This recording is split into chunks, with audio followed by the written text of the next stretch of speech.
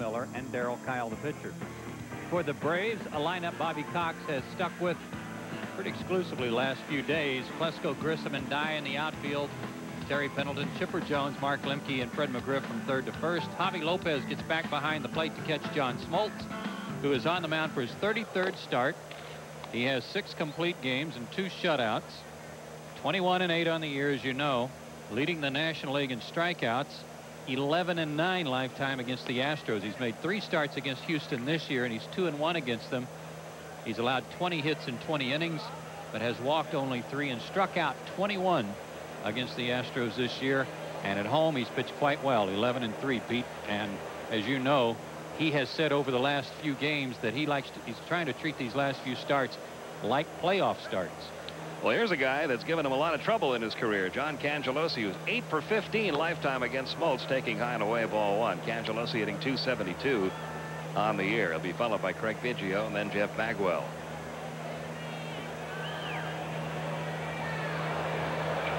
Here's the 1-0 pitch. Little looping fly ball, shallow left center field. Chipper Jones runs it down. And a good start for Smoltz. He gets Cangelosi for out number one. Like the Braves were last week, the Houston Astros glad to be out of Colorado and Coors Field. They lost three straight to the Rockies there before coming here. But the Cardinals were losing a couple in a row themselves, so Houston remains two and a half behind St. Louis. But virtually out of the wild card race, as we mentioned, they are now seven games back in the wild card race. Yeah, that's that's a real long shot. They had the lead when they went into St. Louis for three games earlier in the month, and they lost all three games, and that has put them in a situation where they've had to play catch up ever since. Craig Biggio in a severe slump this final month of the season. His average up over 300 much of the year. Now it's down to 291. Six hits in his last 52 at bats.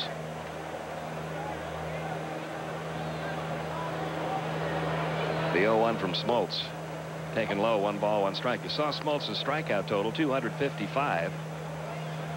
He could set a Atlanta record tonight. 262 is the Atlanta Braves record for strikeouts in the season. Phil Niekro back in 1977. He needs seven to tie it, eight to break it.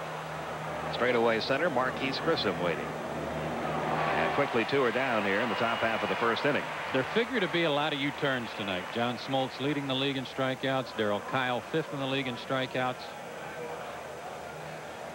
John's numbers this year, though, so much improved over the past, and not only in wins, but you can see right there strikeouts to walks much better. Now Jeff Bagwell having another banner season 317 30 home runs 115 RBIs.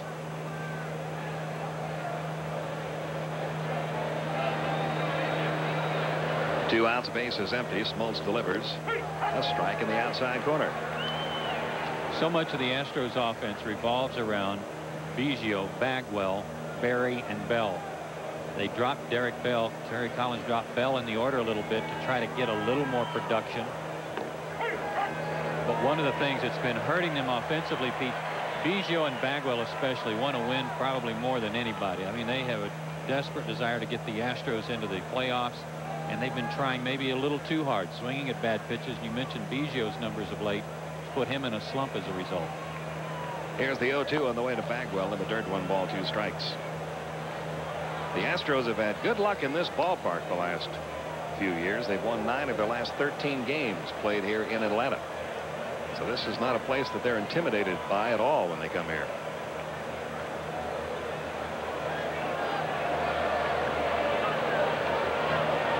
Here's the one two on the way and there's a drive down the left field line. It's going to be in for at least one. Now it gets to the wall. Bagwell's going to have himself a double. And that will add to his league leading total. That is his 47th double of the year. They have a good ball club. They have a good lineup. They have some pitching that is a bit sporadic at times, but can be outstanding also at times. But right now, the thing that's hurting them, two areas. One, the hitting that has gone into a deep freeze of late. That's put some pressure on their pitching. And also their defense. They are next to the bottom in the National League in defense just ahead, actually tied with Colorado just ahead of the Mets. Here's Sean Berry. He's been swinging a hot bat, hitting 281 now for the year. 15 homers, 91 RBIs, both career highs for him. He fouls off the first pitch, 0-1. He is one of the few guys in this lineup that's been hot this month. The Astros, like the Braves, same record for the month of September. Each team has won only four and lost 10.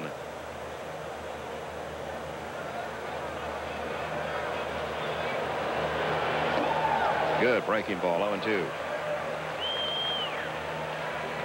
And while the Astros are playing here in Atlanta, St. Louis at home to take on the Cubs, and that's always a very competitive series.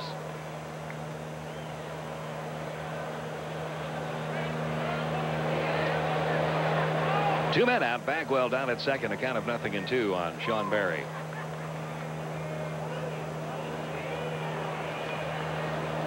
The 0-2 on the way. Taken outside and low. Ball one. One ball, two strikes. John's last start against the Rockies, Pete, was ugly if you just look at the line and say, well, boy, he really got boxed around and gave up eight earned runs in six innings. But he knew he was going to give up a bunch of runs in Coors Field. That's inevitable. I always I like the fact anyway in that start how he stuck with it, hung in there for six innings, trying to battle through it and hope his teammates could pick him up a little bit.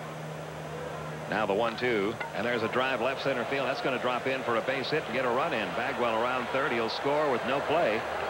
And after two men were out and the base is empty in the top half of the first inning, back-to-back two-out hits, and the Astros have a one nothing lead. RBI number 92 for Sean Berry.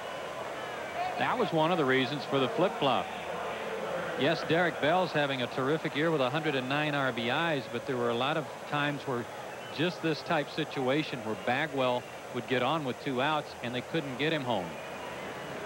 Berry has been a lot more productive of late and that's why he's batting cleanup right now instead of Derek Bell.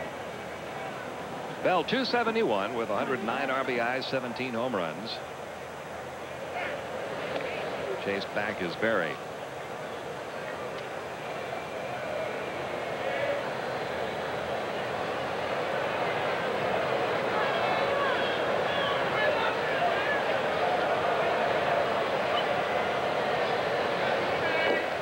There's a strike outside corner. Nothing in one. The count now on Derek Bell.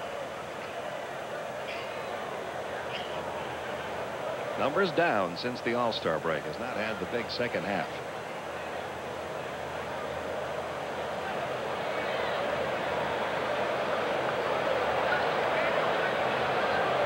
The 0-1 delivery outside corner. And Smoltz ahead in the count 0-2 on Bell.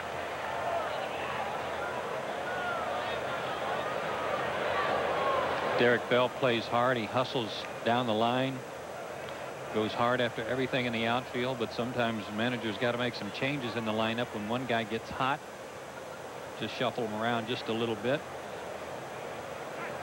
Again to first, again Berry back.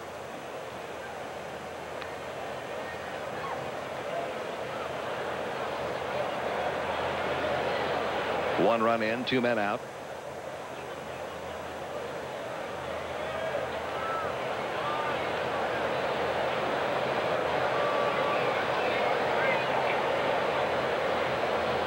And the 0-2 on the way is upstairs. One ball, two strikes. While the Braves are playing these two games with Houston, the Montreal Expos will be at home taking on the New York Mets. And we'll keep an eye on that game for you. Tonight is Jeff Fassero against Jason Isringhausen. And they are underway, no score after one.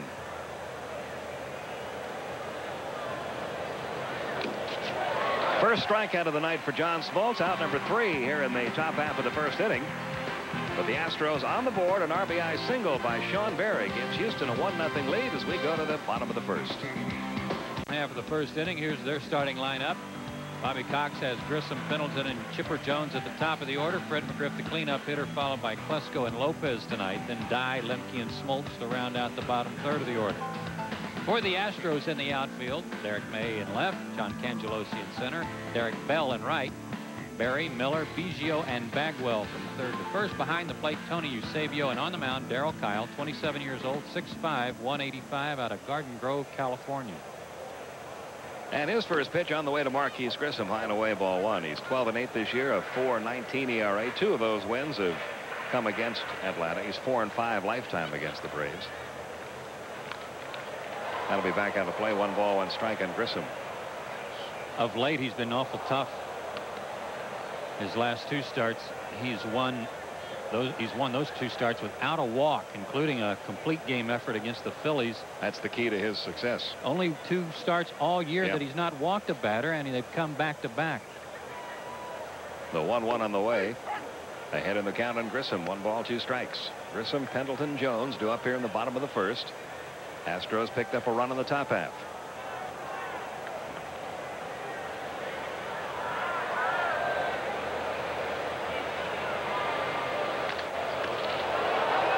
Out of play. Still a ball and two strikes on Marquis Grissom. Grissom with 190 hits for the year. That's a career high, but his goal much higher than that. He wants 200.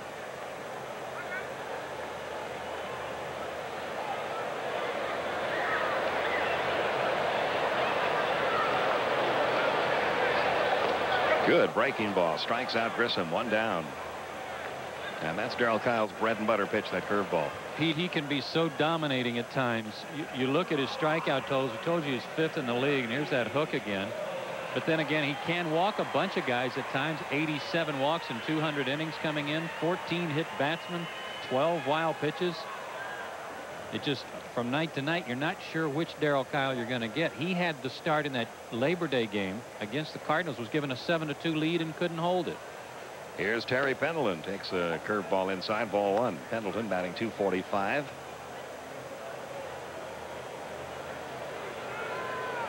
That turned out to be a crucial game in that three game series. As the Cardinals picked up three games in the standings, went up a game and a half and have not looked back. Two and nothing the count on Terry Pendleton.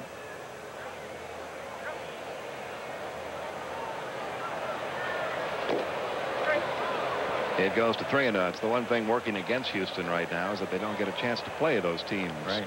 Or that team, that Cardinal team that's right above them in the Central Division. They're playing a team from a different division. So they have to get some help. Ball four. And there's the first walk of the night for Kile as he walks Pendleton with one out. Unlike the other divisions where San Diego and the Dodgers meet seven more times, they're battling it out. Cleveland can clinch tonight the Central Division. They're playing the White Sox team right behind them. Seattle and Texas playing right now. The Yankees and Baltimore playing right now. Think how important that could have been, though, to Houston if they had been able to maintain the Yeah. lead playing the Cardinals. They could have been on the road right now playing teams outside the division, and the pressure would be on St. Louis playing within the division. Well, there's Chipper Jones. He's got himself another hitting streak going. Nine straight games. Hitting 313 now for the year. Pendleton, the runner at first, one out. And that's back out of play. The count on 1.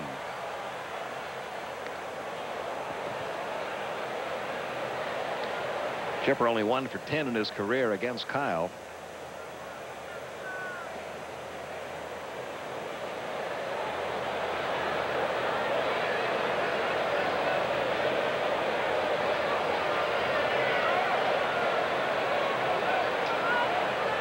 The 0 1 on the way, and it's low. One ball, one strike. When he keeps his fastball down, he's got enough on it to make it a long night for the hitters. And also that curveball he threw Grissom. If he's around the plate with it, can be a mighty quick 0 for 4. Here's the 1 1. Good breaking ball. That's a sharp breaker. Mhm. Caught the corner, one ball, two strikes. And it's slow enough, Pete, see that it acts almost like a changeup, too, because he throws hard. You've got to be geared up for the fastball if you're behind in the count.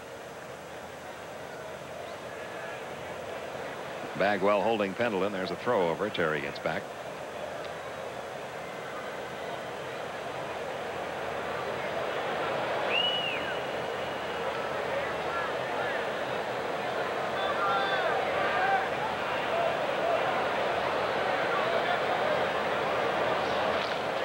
Into right field. That's going to drop for a base hit. Terry Pendleton will take the turn at second. Hold on there as the throw comes back to the middle of the infield. So Chipper Jones now with a 10-game hitting streak as he loops a single into right field. Braves have runners at first and second with one man out for Fred McGriff. Went back to back with the breaking ball, and Chipper stayed back on it pretty well, kept his hands back, extended his hitting streak. McGriff at 296. He's got a seven-game hitting streak. Fourth 100 RBI career year of his career.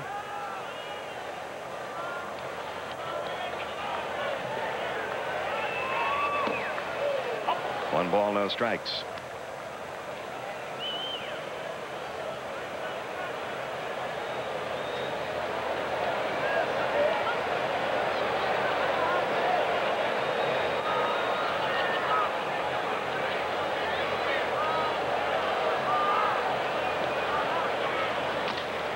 Little tap right back to the pitcher. Kile goes to second out there. Miller on to first. Not in time there. Moving over to third is Terry Pendleton. So runners are now at first and third with two outs for Ryan Klesko. And were it not for Chipper Jones bearing down on Miller, who had to kind of reach back into the path of Chipper Jones, might have been able to turn that double play. Kile didn't give him a very good feed. Klesko 282 for the year, 33 homers. First and third, two outs. One nothing Houston, bottom of the first.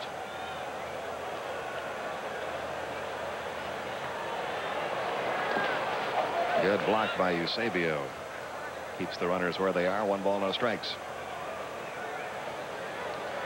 The Astros tried to shore up their ball club when they lost Billy Wagner to an injury. Their closer, they went out and got Gregg Olson, the former Brave, who had been with the Detroit Tigers to help out in the bullpen. They also picked up Kirt Manwaring from the Giants to help out behind the plate.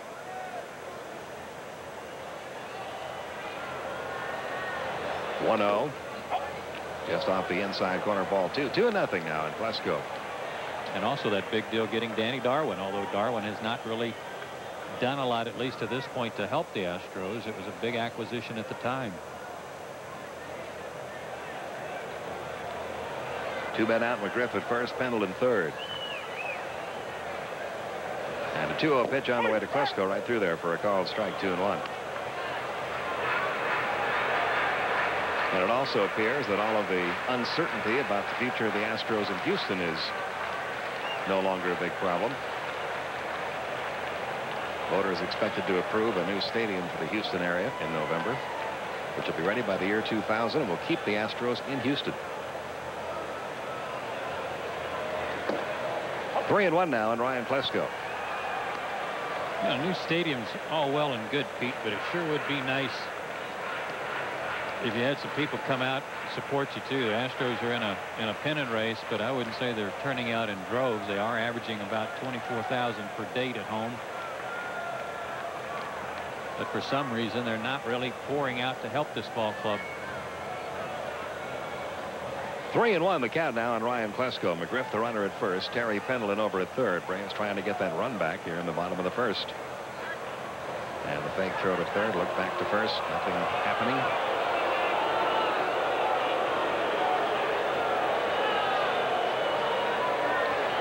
Still three and one on Ryan Klesko.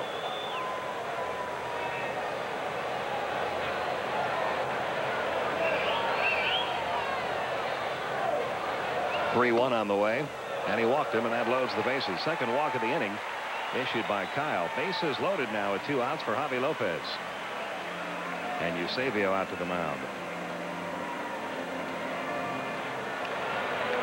Back to that stadium situation for a moment, uh, Joe. The, the two franchises that were really being talked about with question marks going into the season were the Houston Astros and the Pittsburgh Pirates. Would they stay? Would they go? Well, it appears now Houston is set to stay if they get that approval from the voters, which they expect to get. But I'm not so sure what's going to happen now with Pittsburgh. Jim Leyland earlier today announcing that he will not return as manager of the Pittsburgh Pirates next year. He said it's just time for us to part ways and I'm sure he'll land somewhere else as a as a big league manager, but you really got to scratch your head and wonder how much longer the Pirates can survive up there. Yeah, it's disappointing news for Pirates fans, but I don't know that it's all that shocking news. It's not that shocking to me. 0 1 on Lopez. Once that announcement was made in August, which contradicted everything the Pirates organization had been talking about for the last year about in, increasing their payroll, but once they made that announcement, we're going to cut payroll and started that fire sale of all their high salary players. A little bit of a betrayal to Jim Leyland of what he had been told the previous year. And he will move on. There's a little chopper up the middle. It's going to be fielded. Dropped by Biggio. Picks it up. Got him. He recovered just before the runner Ryan Klesko arrived. And that bails Kile out. The Braves leave him loaded in the first inning at the end of one.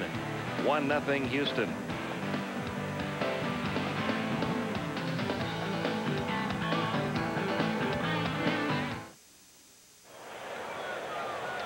Craig Biggio is definitely living right on this one after Javy Lopez checked swung bounced it out toward him squeezed his glove too soon and then it hits right in the middle of the bag and comes up to him in time to get Klesko. If it hits on the edge of the bag one run for sure scores and maybe two because it would have rolled away from Biggio and Miller.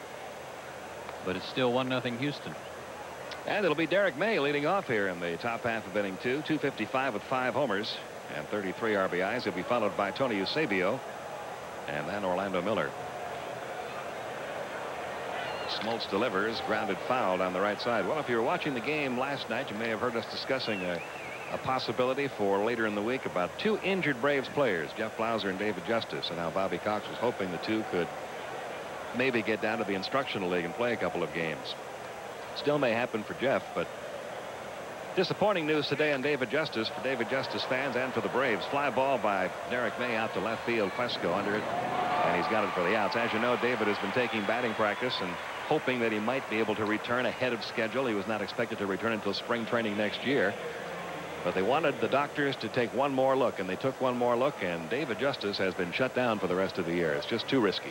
Yeah, and I know he's very disappointed because he felt like he was getting close, felt like there might be some contributions he could make especially as the Braves got closer to the postseason.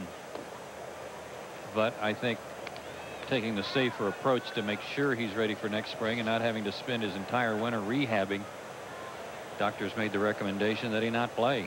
They just felt that the muscle strength was too tentative in that shoulder and that if he re-injured the shoulder then it would take much longer to get mm -hmm. David back than just next spring. That they so. might have to go in and do a total reconstruction. Right. Here's the 1-1 now to Eusebio. Sort of half waved at that pitch, but I guess he held up in the count 2 and 1. Eusebio batting 259 with a homer and 18 runs driven in.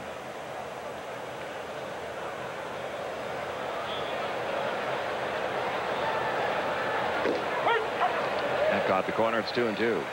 There's going to be one visitor all night right behind Randy Marsh, the home plate umpire. A lone pigeon who's getting his fill on some new grass seed thrown out by Ed Mangan and his crew. Second strikeout of the night for John Smoltz. He is now just five away from tying Phil Niekro's Atlanta record. Two down. Here in the top of the second, Orlando Miller will be the batter. Good fastball. Threw it right by him. Yes, the ground crew was out doing uh, a lot of bird chasing earlier in the yeah. day. There, there, were more than one on the field earlier in the day, and the ground crew was running around clapping their hands real loud, trying to scatter the birds. That one's certainly not disturbed by any of the goings on. It's going to weigh 700 pounds by the time the game's over. Miller takes one high and away, ball one. Astros leading at 1 0. We're in the top of the second. First of two with Houston. We have a day game here tomorrow with Greg Maddux against Mike Hampton. Then that five game series with the Expos begins on Thursday night. One ball, one strike on Orlando Miller. They're in the top of the third now in Montreal. Mets and Expos. Nothing, nothing.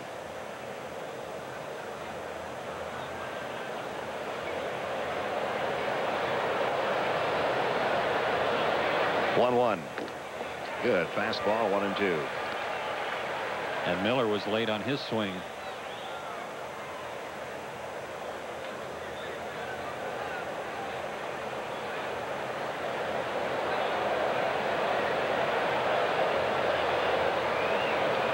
Now the one two on the way to Orlando Miller. And it's right back at us.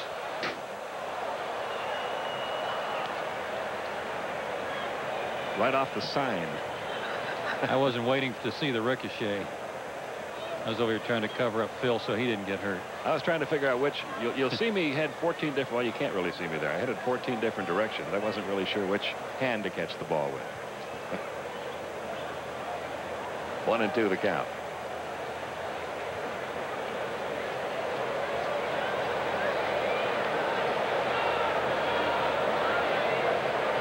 Now the wind by Smoltz and the one-two on the way. Another strikeout, his third. Smoltz may get that record tonight. One, two, three go Houston in the second. We go to the bottom half. Still one nothing Astros.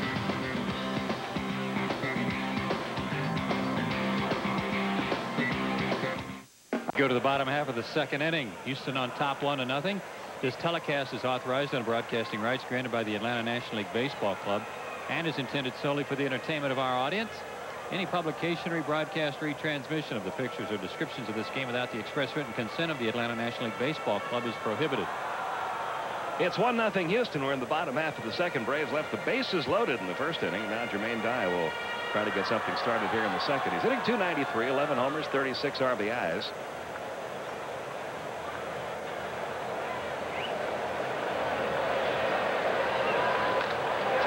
Out of play right side, the count 0-1. I think Jermaine's going to finish in the top three or four in Rookie of the Year balloting. It's, I think the Rookie of the Year award, though, is going to probably go to either Todd Hollandsworth or Jason Kendall. Hollandsworth really finishing strong for the Dodgers. What are his numbers?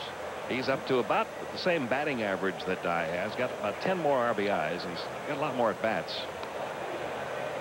He's had some huge hits for the Dodgers. Yeah, he has. And of course, Jason Kendall's over 300, but not much power. Deep to left field. This might get one more RBI for Jermaine Dye. Nope, on the track, Derrick May runs it down, one down.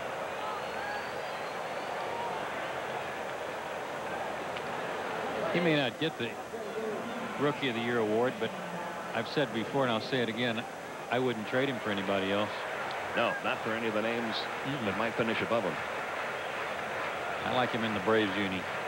Mark Lemke hitting 246. He has four homers, 36 runs driven in.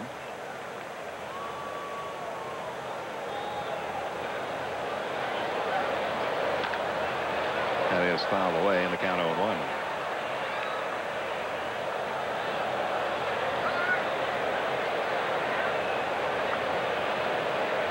A run, two hits for the Astros. No runs, one hit for the Braves. We're in the bottom of the second. Kile delivers the 0-1 pitch and misses high and outside. One ball, one strike.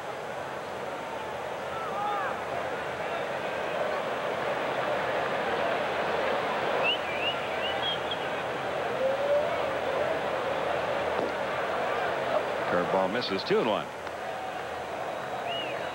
Well, Mark McGwire has 11 games left, I believe it is, Pete. Is that right, Phil? 11 games left for the A's. Think he can do it? Needs 11 home runs to tie Roger Maris. I don't know. That's going to be tough. Two and two the count. It has been done once before. Frank Howard hit 11 home runs over an 11 game stretch in May of 1968.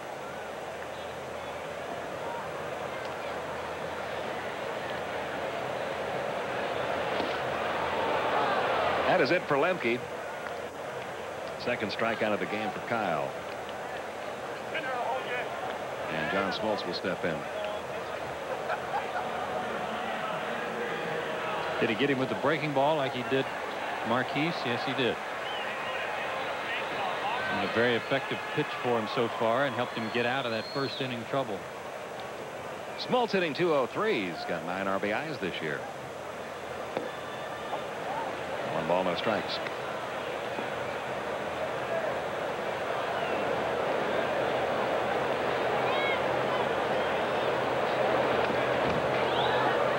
strike. Now, I think Roger Maris's record is going to survive for one more year, but I don't think it would have had McGwire not missed those what, 32 games earlier right. in the year.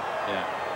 If he's healthy and plays the whole season, it looks like he would have surpassed the 61 home run mark in a year where a lot of records are falling. I think he hit number 50 in game number 119, and that was the fewest number of games it took to hit 50 home runs in history.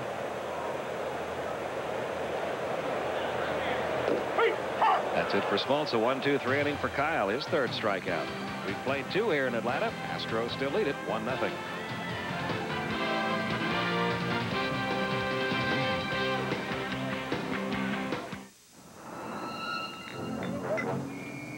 Forecast for rain tonight, but if it does, that one guy, well, two of them, they don't need their umbrellas. Let's check the Axit AR scoreboard. Games underway. Pittsburgh leading Cincinnati 2 to 1. New York, Montreal still scoreless at Montreal. Florida got three in the second against the Phillies. Over in the American League, Boston leading Detroit 2 to nothing. Still raining at New York. And none of the other games underway. Well, one other one underway. Minnesota. No score at Kansas City. Darryl Kile leads off here in the third against John Smoltz. 1 nothing Houston our score. All one to Kile. Astros run coming in the first. A two out double by Jeff Bagwell. A two out run scoring single by Sean Berry. One ball, one strike.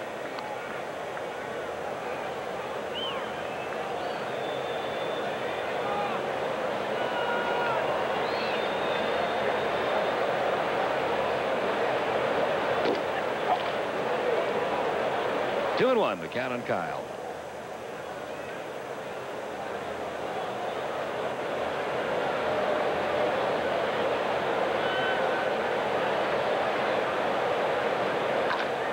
Up the middle, Chipper Jones. Fielded a funny hop on to first in time. And that's five in a row set down now by Smoltz, one out in the third. And we go back to the top of the order, and John Cangelosi, who popped out to short his first time up. Tom Glavine alluded to his start two two games ago, Pete, as being a playoff type atmosphere because the team had been struggling. They'd lost six in a row. He said it took on the same importance. Each pitch so important so that you didn't make a mistake. And if nothing else, that is getting the pitching staff ready for some tough games coming up with Montreal. Another little flare, shallow center field. Chipper Jones back for this one. He can't get to it. Neither can Marquis Grissom. And Cangelosi has reached again against John Smoltz. He is now one for two tonight. He is now nine for 17 in his career against Smoltz. And he is wearing out the end of his bat, too.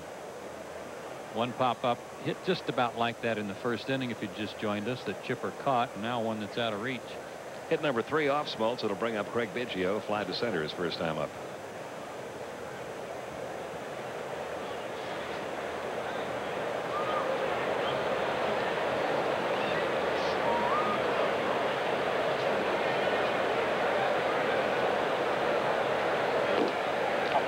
Just off the corner, ball one.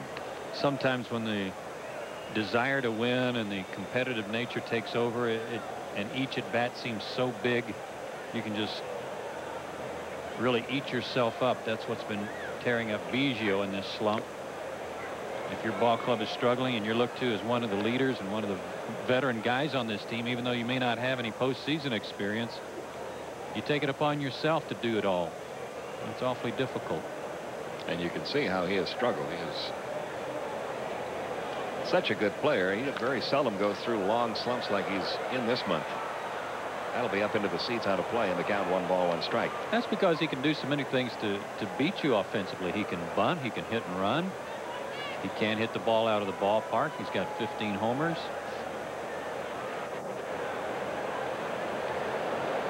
He's got a lot of weapons. It's just that right now he's not able to put any of them to use. He can also get in the way of a pitch. He's been hit 26 times this year. Hmm. Tops in the National League.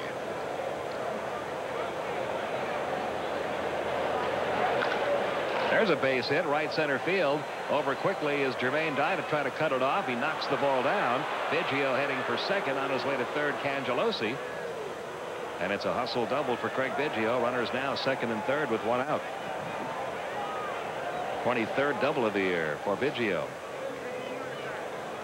The field here is is somewhat saturated. Heavy rains in Atlanta the last couple of days.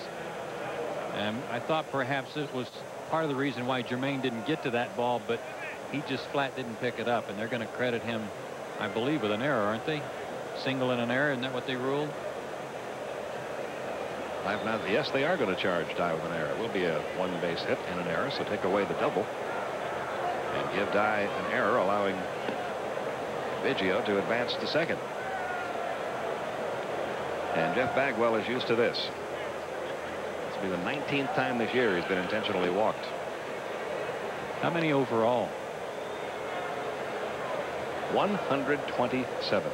Yeah, that's right in there with the Sheffield number. Sheffield's walked 135 times, and that was leading the league. I'll check and see if it still is. Sheffield 135 and Bonds 135. Bagwell right behind him. So they'll take their chances with Sean Berry with the bases loaded.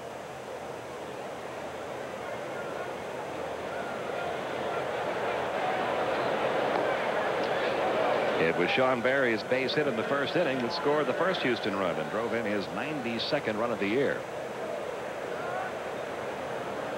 Now then, Pete, if you're the Houston Astros, you've got to capitalize on these situations in these tough games. Not only do they have Smoltz and Maddux in this series, they go down to Florida to take on Kevin Brown, who's leading the league in ERA, and then Al Leiter, who's always tough. You've got a chance to lead Smoltz and the Braves in Atlanta and add to your lead. Got to jump on it. And conversely, if you're the Atlanta Braves, you saw Darryl Kile pitch out of a bases loaded jam in the first inning. You got to try to get yourself out of this one. Berry doesn't run all that well. Double play a possibility. You can get him to hit a ground ball. Upstairs, ball one. Yeah, he does not run well. He's got a very bad shoulder. He, if nothing else by example, he has been a great leader for this ball club because he's probably going to have to have some type of corrective surgery on that shoulder in the offseason. Bases loaded, one man out. There's a strike and the count one ball, one strike. Boy, did that have something on it. Montreal has jumped on top of New York. Bottom of the third Olympic Stadium, Jeff Fassero against Jason Isringhausen.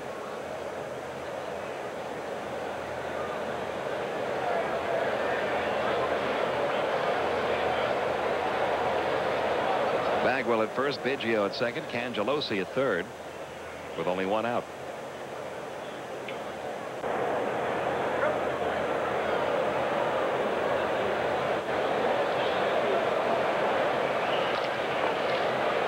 Be tough to turn two here, but we'll see if Lemke can do it. He can.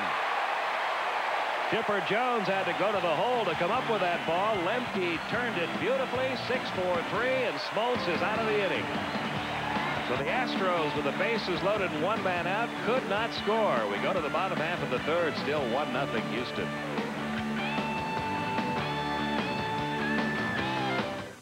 This year TBS turns 20 with a coast-to-coast -coast big birthday bash. TBS, happy birthday. From the Big Apple to the Golden Gate, we're coming to a town near you with birthday games, big prizes, and the world's largest birthday cake hot air balloon.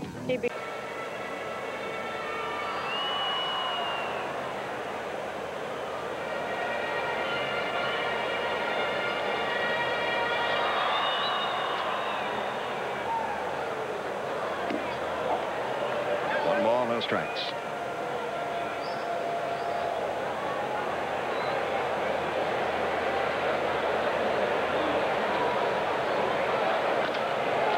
And a straightaway center, Cangelosi had him played almost perfectly. Hardly has to move. One down. Grissom retired. That'll bring up Terry Pendleton, who drew a walk in the first inning.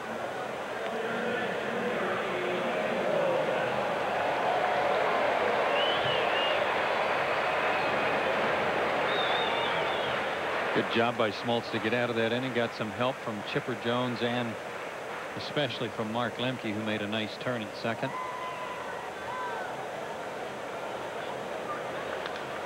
Now to play by Pendleton, the count 0-1.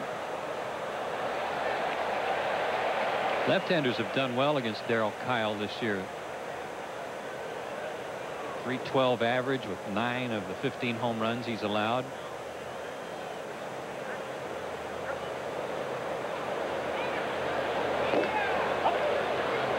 Count even now, one and one.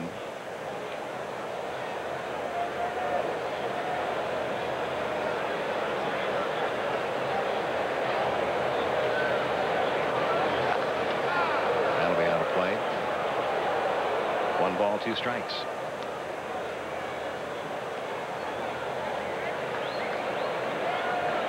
Braves didn't get into the wee till the wee hours of this morning most of them didn't arrive home until maybe 3 to 4 o'clock, 3.30, 4 o'clock.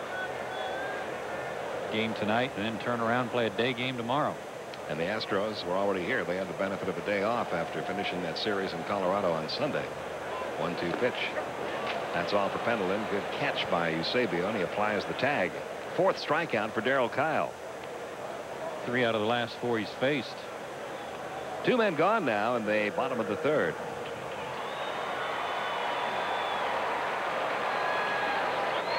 And the batter will be Chipper Jones. He had a base hit in the first inning, extending his hitting streak to 10 games.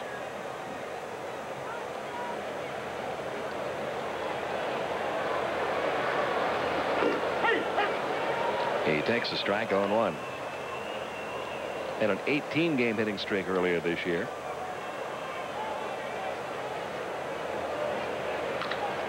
There's a line drive right center field. Cangelosi can't come up with it. Now he kicks it. Chipper on his way to second. Cangelosi gets the throw back. Chipper Jones pulls into second. Second hit allowed by Kile, and Chipper Jones has them both. That was almost a case where Cangelosi got too close to the baseball, Pete. He wasn't going to catch it, but the ball took a bite, almost like a golf ball on a green, took a funny bounce and bounced back to him, and he couldn't smother it. The Astros capitalized on a two-out double by Bagwell in the first inning. Maybe the Braves can do the same thing. 31st double for Chipper Jones this year. He's at second with two outs for Fred McGriff hit into a force play his first time up. Fouls back the first one 0-1. The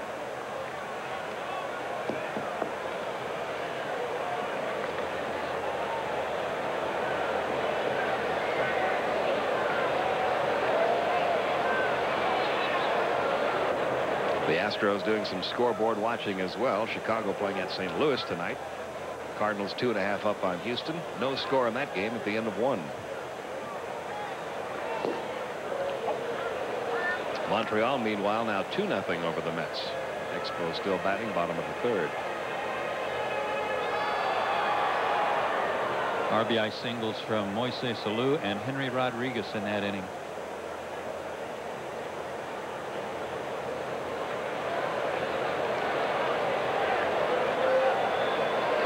Now the 1-1. Two and one the count. Final regular season homestand here at Atlanta Fulton County Stadium. These two with Houston and five games with Montreal. Then whatever postseason games are played here, and that'll pull the curtain down on a 30-year run here in Atlanta. As the Braves move across the street to the new stadium for next year. That five-game series with Montreal, a rare five-game series in the major leagues caused by the early exit of the Braves just before the Olympics to give ACOG a chance to get the stadium ready for the baseball competition. So they only had a two-game series with the Expos back in July. It's even now two and two on Fred McGriff. That's a pitch that you see so many left-hand hitters give up on. That pitch looks like it's going to be outside. And that sharp break at the end brings it back over the outside corner. It's sometimes the way it comes out of the pitcher's hand, Pete. It looks like when it comes up out of the hand high, looks like there's no way the ball is going to be able to come back in for a strike. Two and two now. McGriff, Jones at second, two outs. Fouled off at the plate, still two and two. But he can really do a good job of disrupting your timing. Talking about Kile. Not only will he try to come in the back door with that breaking ball like he did for the called strike, but he'll drop it down and in a little bit harder, and then he'll come back with a fastball as he did there. Gave Fred a little trouble catching up.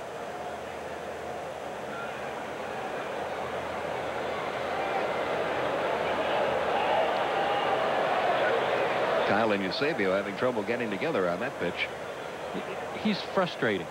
Darryl Kile is not only as a hitter, but to his team, to his organization. I mean, he, he is so capable and can be so dominating as we've talked about. It's just putting some consistency together.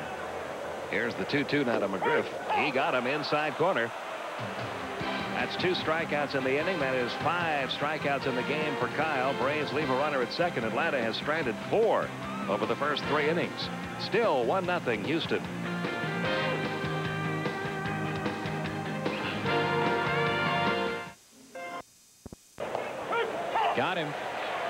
Eusebio had trouble pulling the trigger his first time up. Had a couple of check swings. He fans for the second time. And Smoltz has number four. Perfect location outside corner about knee high. He's now just three away from Phil Niekro's Atlanta record of 262 strikeouts in the season. And Orlando Miller was a strikeout victim in the second inning. Has 110 strikeouts this year, 14 walks.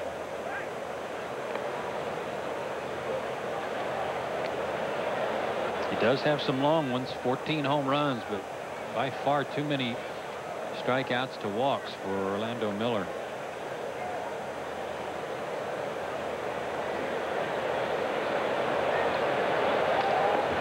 Good swing, but he fouled it back. He's hit a couple of game winners for him since the All-Star break. And they picked up a former Astro, Andujar Cedeno, the other day. Got him from the Detroit Tigers to help shore up a little bit defensively, although Cedeno as well considered more of an offensive shortstop than a defensive player. He's already out for the year. Got hurt right away. Did he? I didn't yes. know that.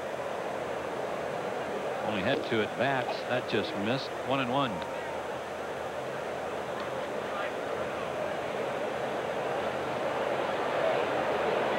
Cedeno had started the year with the Padres and got traded to the Tigers.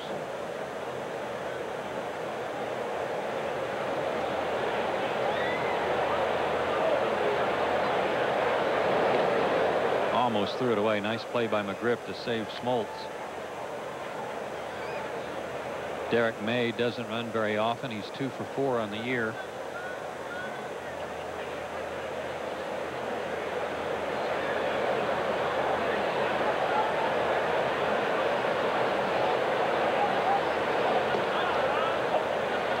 Breaking ball missed two and one.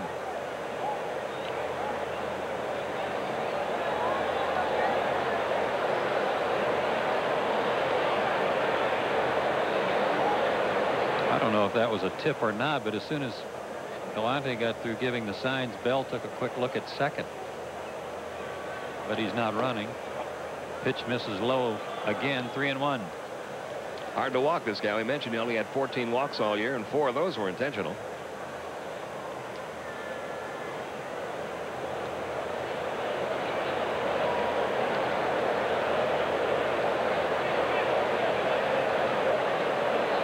And you hate to throw a fastball to Orlando Miller when you're behind in the count.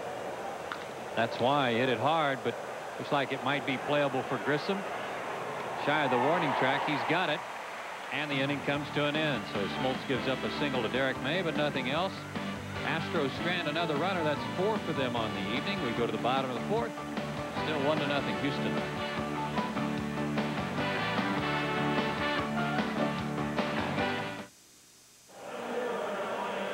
As we go to the bottom half of the fourth inning, a look at tonight's Aflac trivia question. We'll give you the answer to it. It was the first Brave to get a hit during the first regular season game in this ballpark. And the answer, Rico Carty. The big boy. He could hit. Just ask him. Yeah. he could hit in the summertime. He could hit in the wintertime. He hit all year round. One nothing Astros bottom of the fourth. Klesko Lopez and Dye do up for Atlanta. Ryan drew a walk to load the bases in the first inning. First pitch swinging sends a three hopper out to Biggio. One pitch one out. Braves had the bases loaded one out but then Javi Lopez hit a check swing bouncer off the plate that Biggio bobbled. He dropped it but he dropped it right on the bag and it bounced right back up to him. He grabbed it and stepped on the base to end the inning.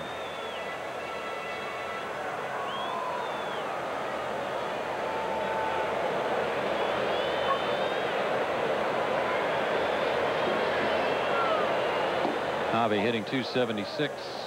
Next ball one. Looks like the Indians might be the first team into postseason. If they beat the White Sox tonight, they clinch the Central Division. They're up seven to one in the second inning. Kevin Seitzer, grand slam home run. That one hurt. Javi banged it off his left foot.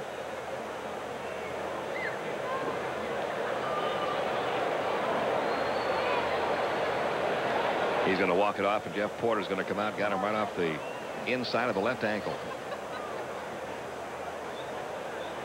Not much padding there.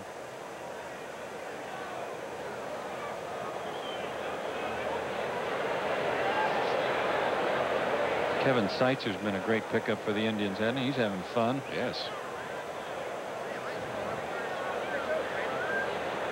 Well, the Braves of this slump they've fallen into have relinquished the role as the team with the best record in baseball to Cleveland. Cleveland's got 90 wins right now. The Braves have 88.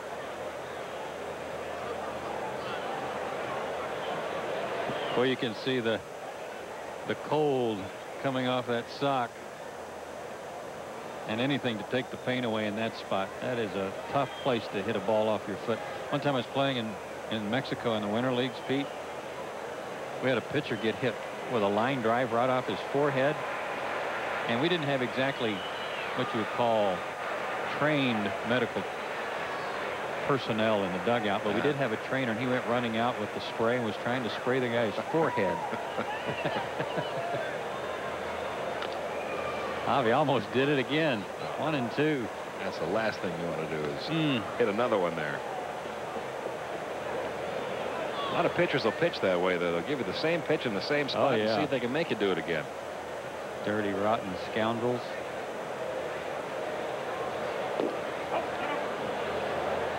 Two and two the count. Javi was two for 14 in the series at New York. 0 for 1 tonight. Oh, he got away with one there.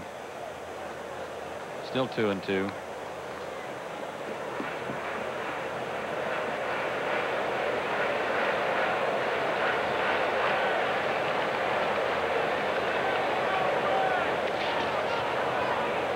Boy, that breaking ball had some bite on it, didn't it? Full count. But you can you can see why Darryl Kile gets wild at times though because his release point on that one was so different from the release point on some of the ones he's thrown for strikes. He's way out almost a sidearm breaking ball there. Watch where he lets that one go from. It's almost like he was going to make sure he didn't make a mistake with it, so he threw it at the left-handed batter's box, did it again, but Javi went after that one. Six strikeouts. Well, Javi's going to be kicking himself because that pitch missed by a foot and a half. Almost the same pitch in the same spot. Mm-hmm. Way off the plate. Yeah. Javi couldn't hang, couldn't hold off. His previous high was 141 strikeouts, so he blew by that quite a while ago. Same breaking ball to Jermaine Dye, but he did not go around. Ball and no strikes. Jermaine lined out to left field his first time up, hit it deep and back Derrick May up to the wall.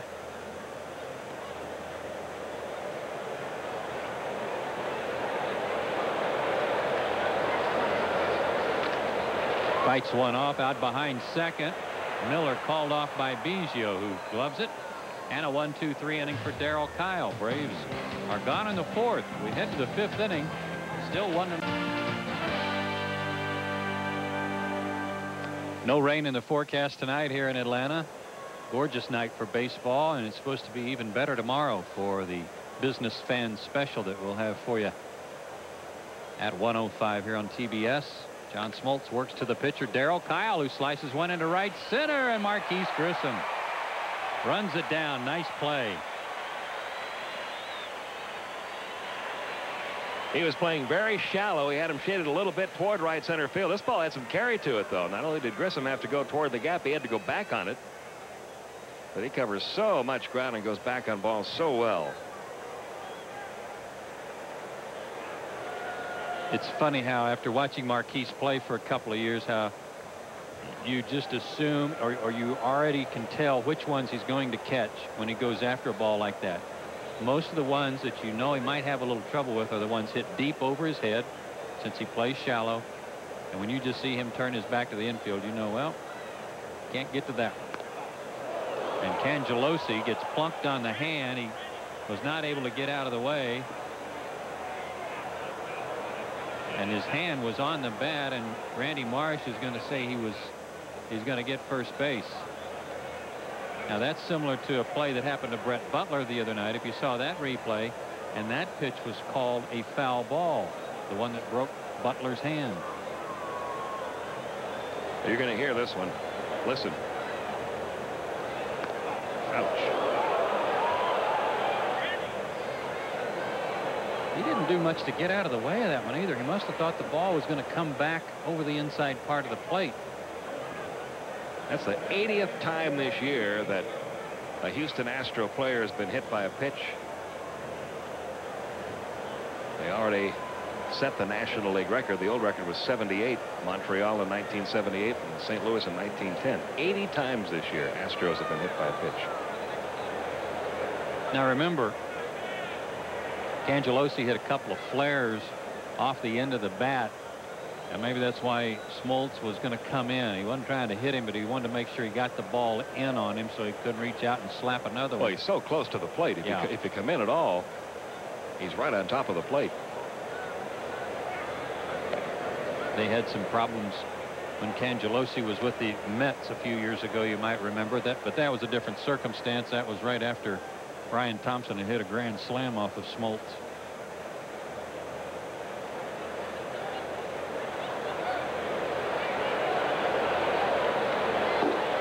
Biggio takes a good breaking ball 0 and 1. Craig is flied out. He singled into right center field his last time up. Ball was not handled cleanly by Jermaine Dye. He was charged with an error. Put runners at second and third. They walked Bagwell to load him up, but Sean Berry hit into a 6-4-3 double play.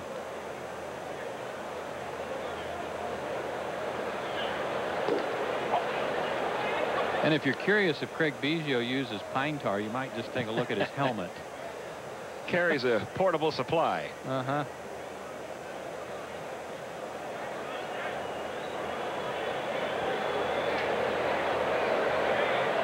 That helmet's been to war.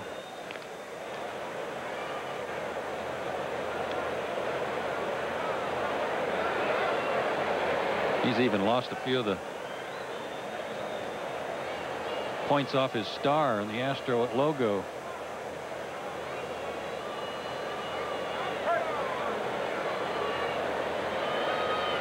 Biggio steps out and Cangelosi heads back to first.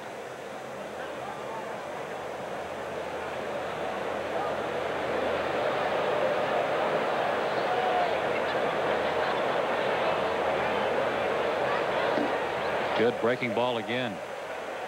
Smoltz quickly ahead one and two. That hit batsman on John Cangelosi ties a major league record. Blue Jays tied it earlier in the week. Washington Senators got hit 80 times in 1911. So that Hmm. record has stood for a long time. And oddly enough, only the second batter John Smoltz has hit all year. As much as he pitches inside, only the second batter he's hit. Breaking ball lifted into left field one-handed toward Klesko, but he's got it right at him. Two down. And Bagwell will hit after doubling with two out in the first inning. He scored on a base hit by Sean Berry. Berry's 92nd RBI of the year, and that's the only run of the game.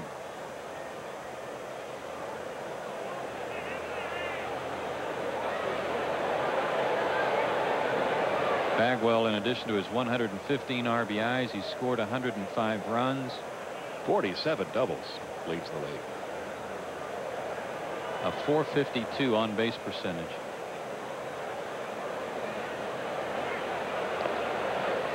Cangelosi back. He is 17 out of 25 in stolen bases.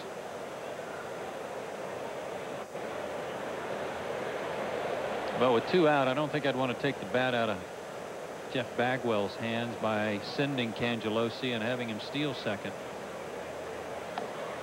Up and into Bagwell. Well, he gets hit a lot because he kind of dives into the ball, as so many hitters do nowadays. But he was one of the first of the new breed of young hitters that came up here with that style of hitting.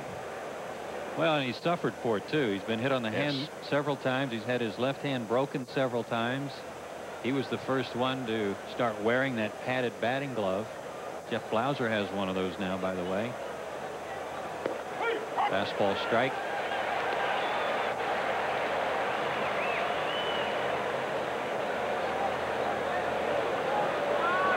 It is a hard protective device that attaches to the bat of that back of that glove. But he's right on top of the plate. You're right, Pete. He does not get cheated.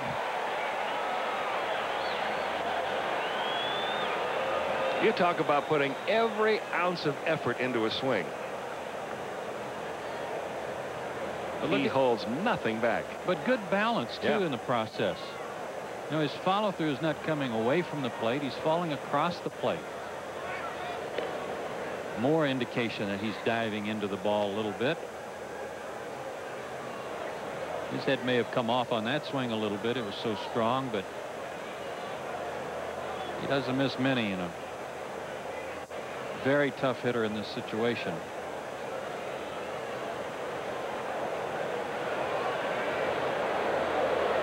There goes Cangelosi. The pitch is high, and they got him by a mile. So if nothing else, Bagwell will lead off the inning. He was in the hole one and two, and maybe Terry Collins would rather see him lead off than hit with a runner at first. We played four and a half. One nothing, Houston.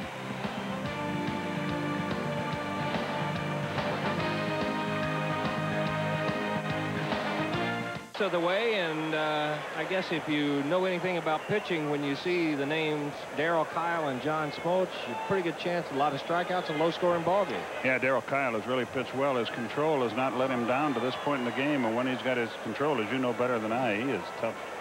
Mark Lemke to lead it off. Lemke taking a few extra seconds to get out there on that final out of the inning. The tag at second on the attempted stolen base. Cangelosi slid hard into Lemke. Looked like his right foot, so Mark taking it gingerly into the dugout. Lemke smokes. And Lemke doesn't waste any time. Sends one into center field for a base hit.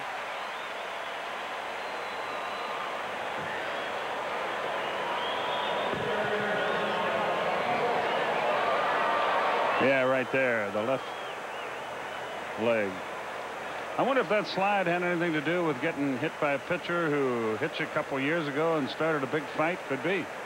Very well could be. That's one way you see base runners get even. Astros are looking for a sacrifice from John Smoltz. Berry creeps in at third. First one is outside, and it's 1 0. Remember, if you watch the Braves, Bobby Cox will send word to Jimy Williams that if they are in close and they're charging, turn that, turn him loose, turn the pitcher loose. He gives his hitters more liberties than I think any manager I have been around. Smoltz has been successful in this situation a lot this year. Shows bunt again, and it's a beauty. Bagwell with one play. Cabigio, sacrifice work. Tying run in scoring position. Sacrifice number 13 for John Smoltz.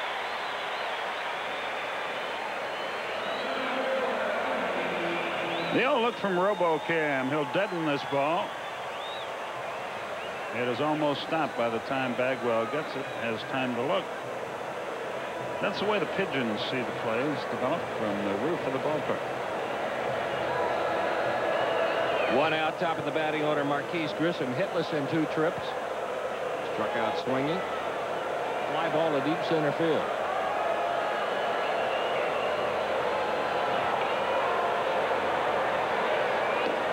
First one outside, 1 0. That slide at second, and the fact that Lemke a little bit banged up might come into play right here if Grissom sends a single to the outfield. A Couple of good arms, one in left and one in right. Not much of a arm by center fielder John Cangelosi, but Bell and May can throw. We will see. Here comes Cangelosi. Here comes Lemke, and here comes the throw. Nowhere near. What a terrible throw. And Darryl Kile didn't do his job. He didn't get back there to back up, and it cost him a base. There was a horrible throw. You're right. So Grissom picked on the one guy in the outfield with the bad arm, and the Braves have tied it. Boy, you had that one right. He makes an awful throw. A solid single. A two hopper, and John just tries to throw it a little too hard. Looked like for a second he was going to try to run it to the plate. And you can see Kile not He was doing play-by-play -play down there instead of getting back and doing his job. Being a spectator will cost you in close ball games, and right now the Braves with the potential go-ahead run, moving on up to second base. Marquis Grissom there. Here's Terry Pendleton. That's going to be an error on the throw by the center fielder.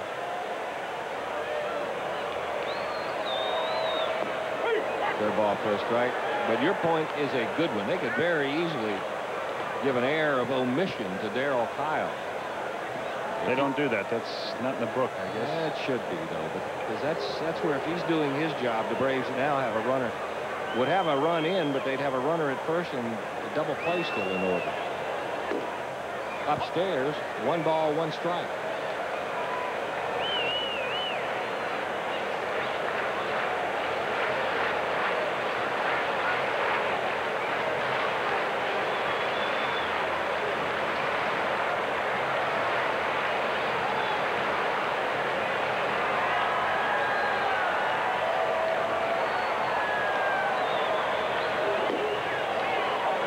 Diet of breaking balls for Pendleton, and this one misses for ball two.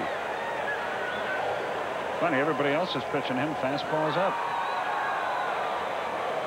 Kile has a good curveball, but he also has an exceptional fastball. Some of the other stores around the National League and the American League. Well, I'd love to be there for that series. Wouldn't you like to see that? New York, Baltimore, entertaining Baltimore. I bet both managers very frustrated, though.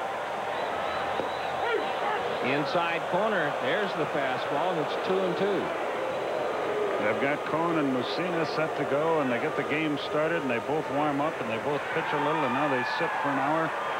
When will they be able to come back, especially Cone? You basically lose him for the whole series, I bet, at this point. That's a better break, I guess, for Baltimore. They're a little deeper in pitching than either the Yankees starting pitching. Two balls, two strikes.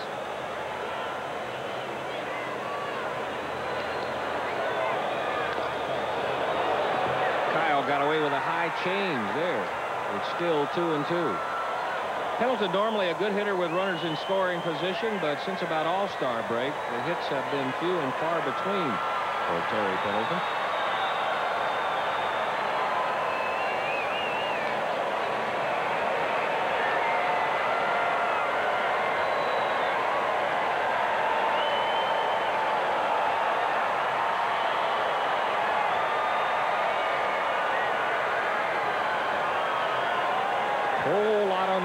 for the Astros. The days are running out, and the lead for St. Louis getting bigger. Full count, three and two.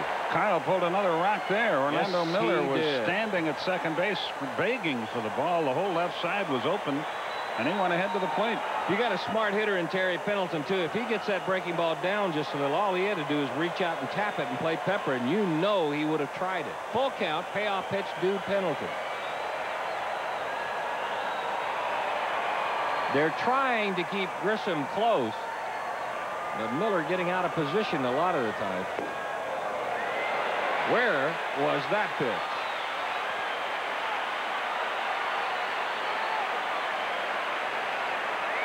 A base on ball, the third.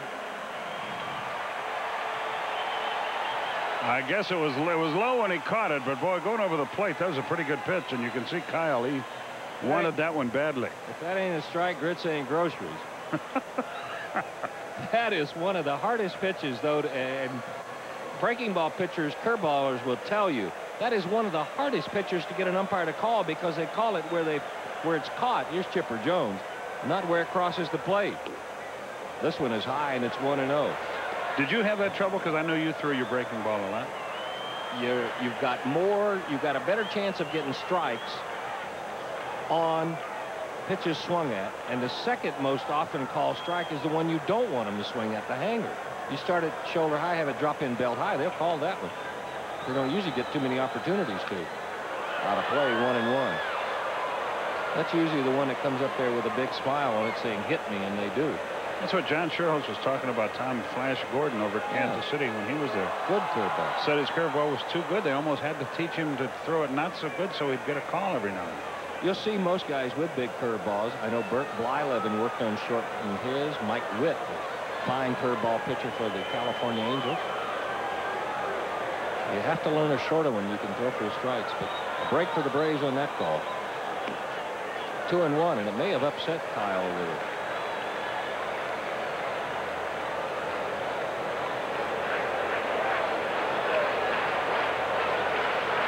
Six strikeouts and three walks to this point. Four hits. A 1-1 ball game.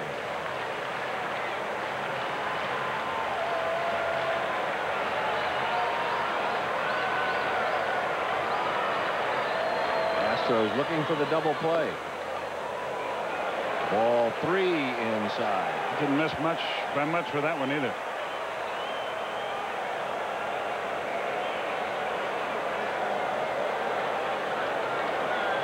If you poll the players in the National League, most of them will tell you they consider Randy Marsh more of a hitter's umpire than a pitcher's umpire. And that's holding true to form tonight. Chipper Jones might get a pitch to handle here. It's three and one. Nope, ball four loads him up. Fourth walk issued by Kile. Kile, throughout his whole career, as Brent Strom makes his way to the mound, has been somewhat of a contradiction. When he's good, he's very good. And when he struggles, it's usually because of control. He's coming off of one of his career best outings against the Philadelphia Phillies. Complete game. Well, you know, you always talk about the uh, the borderline pitch, and if you don't have the control consistently, it's going to go against you. Now, he's certainly had a couple of those tonight. I'm not saying Randy Marsh is wrong, but a couple have been right there where you're going to get an argument either way, and it's gone the other way for where if you're Kile. Glavine or Maddux, you're going to get them because you're consistently there. And in defense of the umpire a little bit, when you have a pitcher that throws in one area over and over, you can settle in and look there. But if you have a pitcher who throws it all over the ballpark, this umpire has to move to the left shoulder, to the right shoulder, up, down. Kind of hard to get consistent calls. Well, he's going to have to make some pitches now. Bases loaded. Grissom at third, Pendleton at second, Jones at first, and McGriff the batter. Doesn't get the curveball. Couple cranking up down the left field line. Looks like Jones and Morman.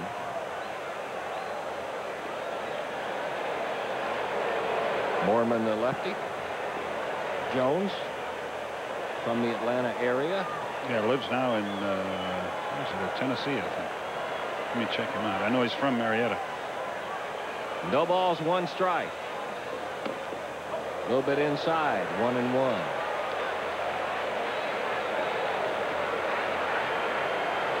Then all of a sudden you figure, well, I've got to be too fine. I've got to make perfect pitches. Control might get better, but quality suffers. See what McGriff can do with it. It's one and one. Let's try Pell City, Alabama. in five minutes, okay? Where he lives? Yeah. That's a nice little town. And not that far from Tennessee, really.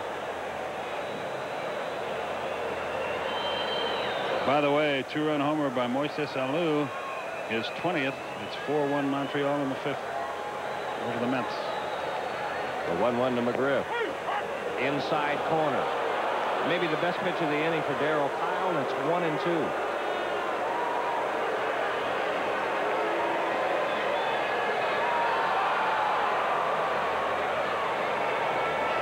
Kile out of Southern California, Garden Grove, almost right there in the shadow of Anaheim Stadium. And the Crystal Cathedral. All right there. Product of Chaffey College.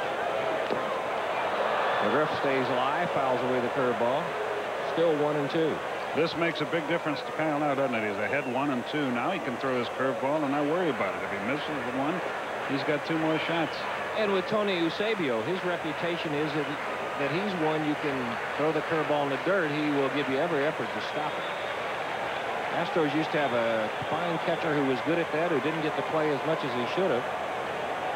Luis Pujols, who coaches first now for Montreal. There's that breaking ball, and there's that block. McGriff is gone. Strikeout number seven for Kile, and some good pitching to Fred McGriff. But he's still not out of the woods. He's got to get out Ryan Klesko. Nice stop for Tony Eusebio. That's just what we're talking about. He can throw that pitch without worrying about it. It's nowhere near the strike zone, but Fred Down in the count, can't take any chances and chases a pitch that's impossible for him to hit. Both teams have had some great chances here tonight. And so far, have been unable to cash them in. So Grissom is still at third. Pendleton still at second. Chipper Jones still at first. Klesko has walked and he's grounded to second. That is a strike. In real life, maybe, but not on the scoreboard. Hey. That ball is coming in about protector high and dropping above the knees. Never heard it put quite that way. Well, it's, it's a point needing to be made. Bye-bye. Off the wall, extra bases. Here comes Grissom. Here comes Pendleton. Jones will score. It's a bases clearing double for Klesko, and the Braves take a 4 to 1 lead. And that's what the Braves have been lacking. Somebody to pick somebody else up. McGriff strikes out. You think the chance is going down the chute? Ryan Klesko takes it upon himself. Clears the bases. He now has 92 RBI. If he gets the call on the curveball, that is a pitch there I guarantee you he doesn't make. But he did make it. He's the one who threw it down the middle. He's the one who's given up four. He's the one who still needs to get out Javy Lopez. Fouled away. 0-1. Lopez this at bat wearing one of those ankle protector guards. He beat himself up pretty good last time up. Right about where that logo is is where he hit himself with the foul ball. The one down low.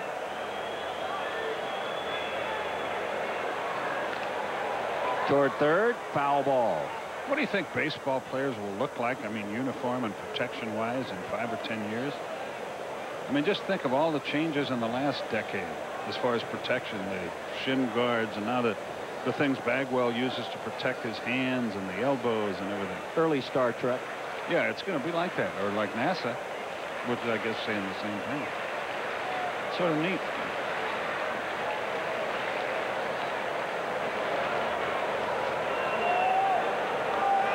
Lopez in a hole 0-2.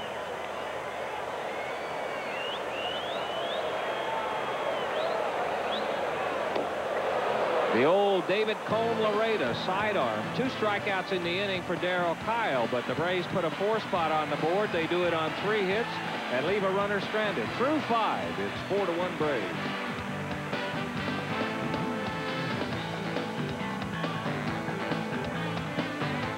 John Smoltz pitching well.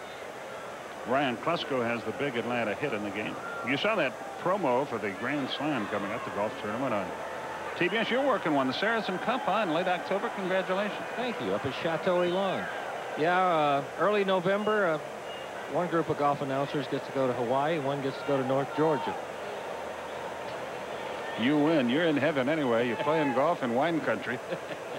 Here's Bagwell. Braves on top 4 to 1. Good breaking ball from Smoltz. It's 0 1. I have no argument for that. There you go. That Chateau Elan is quite a place, they say. I've never been up there. Spectacular. That's going to be a marvelous event. Glad to see TBS doing more and more golf. Down low, it's one and one. PGA Tour, the players would like to see them do the Hawaiian Open again because the other way it's being done, they have to get up at 6.30 and 7 and tee off in the dew. With TBS, I think the first times are around 10 in Hawaii. Have dew in Hawaii? Something wet was on the fairways. Outside, it's two and one. What you want out of John Smoltz and what he wants right now is to follow his team's offense with a good one, two, three inning. Four runs, five hits in an air for the Braves. One, five, and one for the Astros. The big blow, a three-run double by Ryan Klesko. Clutch double, two out. At Pendleton, double pump, high throw. That's why McGriff 6'5". That's why you're glad he's 6'5", one out. That really does make a difference, too. I remember a little guy named Bob Beall. Remember him? Yeah. He used to play some first base for us, was about 5'8". And he was a fine first baseman, but all the infielders were psyched out because they'd look over there and there was such a small target. Really, I'm not I'm not kidding. They had an awful time making routine throws that with a big guy over there they made all the time. Here's Sean Berry. A single. He's grounded into a double play. 6-4-3. Finds himself down in the count 0-1. They got themselves a battle going in St. Louis. The Cubs and the Cardinals are now in the bottom of the fourth. Zeros on the scoreboard. Ron Gant just singled in a run to make One one to nothing St. Louis. And I know that they're keeping their eye on the scoreboard with interest to this game. 0-2 to Berry.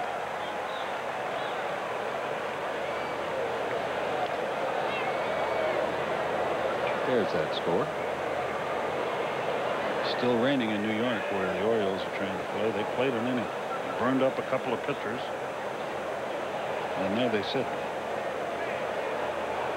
Good pitch. One, two, three, U-turn. And Smoltz has strikeout number five. He has 230 for the year. And every out now, I think, gets a little closer to nailing down that Cy Young award for him, don't you? Yes, I do. But he doesn't, you know, he has to continue to pitch well, or there's some other pretty worthy candidates. Boy, the guy who has really gotten a shaft this year, and he is familiar to local folks, Kevin Brown. What a year he is having in every category but wins. Is Derek Bell. He struck out, flied to left, doesn't get the breaking ball, 0-1. But rightly or wrongly, do you agree with me? Wins is what you have to go by because that's what this game is all about.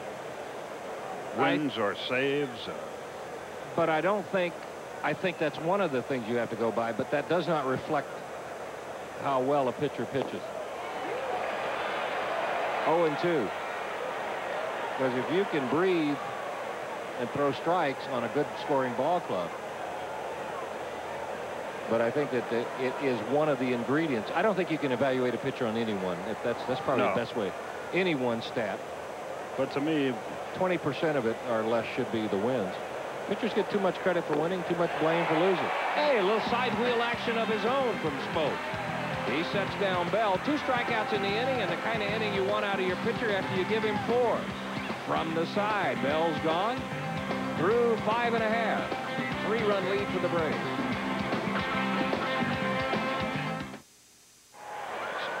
Some work going on across the way in the new ballpark, but I don't think, Skip, that dimensions of that mound will fly. if so, I know you're going to make a comeback. I'll be there. Braves pitching already tough enough without giving him that advantage. Good to know that they're working late into the night to make sure that field is ready for us next year. Braves with four in the bottom of the fifth lead at four to one. They sent eight men to bat. Jermaine Dye will lead it off here in the sixth. There's a curveball I was telling you that the only one you'll get called. That's a hanger. But that time Dye couldn't pull the trigger and it's 0 1.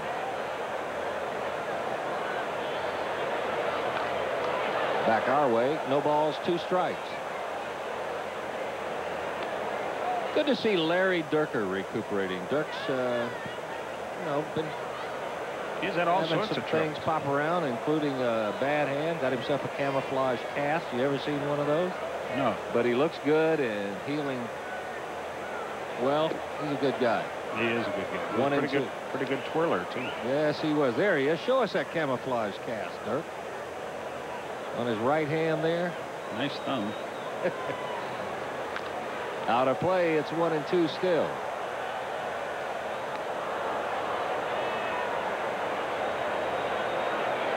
Okay, from Sylacauga, Alabama. Nice play.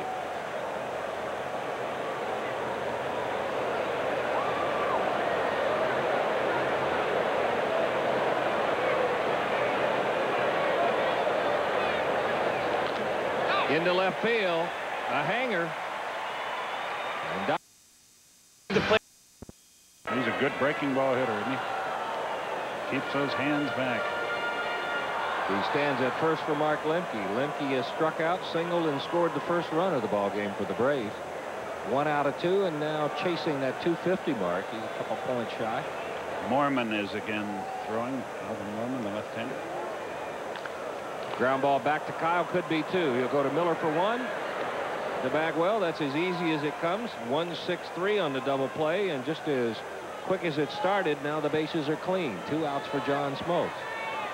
Over in the American League, we were telling you about some of the scores uh, of note. Albert Belle got a leadoff single top of the fourth inning. That's his 1,000th hit of his major league career. And by the way, congratulations to Paul Molitor. Now with 3,001 hits, got it against Kansas City. That is quite an accomplishment. Very happy for him. First pitch to Smoltz is a strike. Solo home run by Lenny Webster to left center field with one out in the sixth off Isringhausen. It's now five to one Expos. Wouldn't it be nice for Albert Belle and for all of baseball, really, if he's that's a thousand hits? He's a wonderful, wonderful player. If he just cool it a little bit, be a happy guy. And enjoy his ability. That's right. Make a lot of other people happy, too. One and two.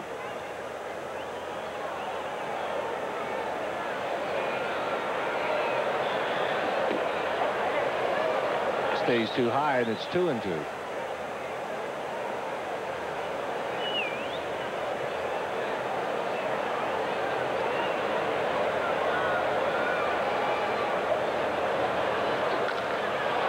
Down the right field line.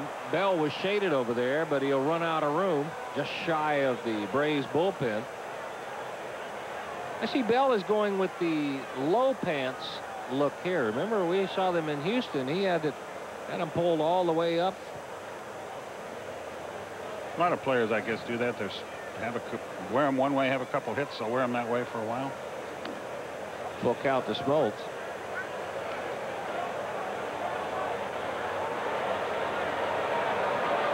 Could drive your equipment manager nuts, don't you? That's normally pretty easy. Did he go? Uh-uh. A walk. So after getting the ground ball double play, Kile walks the pitcher. That's five walks for him coming out of a game against Philadelphia where he went nine and didn't walk anybody.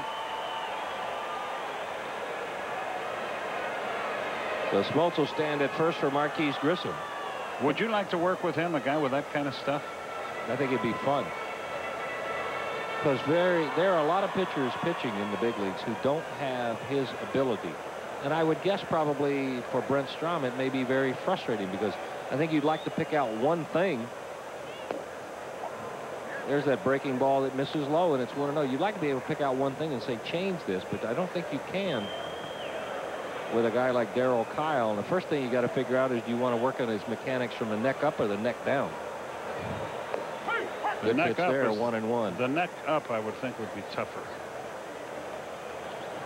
I think it helps to know a lot about a player's personality. What's what's he like? Some some guys like it when it's on the line. Some guys would rather pitch down one run. Some guys like pitching for a contender. Some are better off pitching for a second division club. Almost hits Grissom it's two and one. He has plunked 14 men this year. So you know that he'll come inside if nothing else. And he has to do it. If you're a breaking ball pitcher as he is, you have to come inside. And follow it up with a good curveball there. Two and two.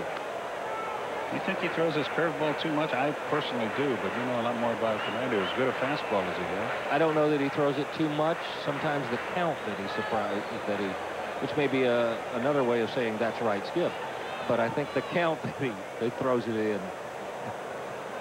How was that? can, I, can, I, stick around for another year? You're getting back to it. Yeah. Up the middle, but Miller is there. He'll take the short route to Biggio, and that'll do it for the Braves in the sixth inning. No runs a hit, no errors, and one left. Six complete. A three-run lead, four to one Braves. Have a moment to give us a chance to our, take a look at our Hardee's leaderboard. Major League victories this year.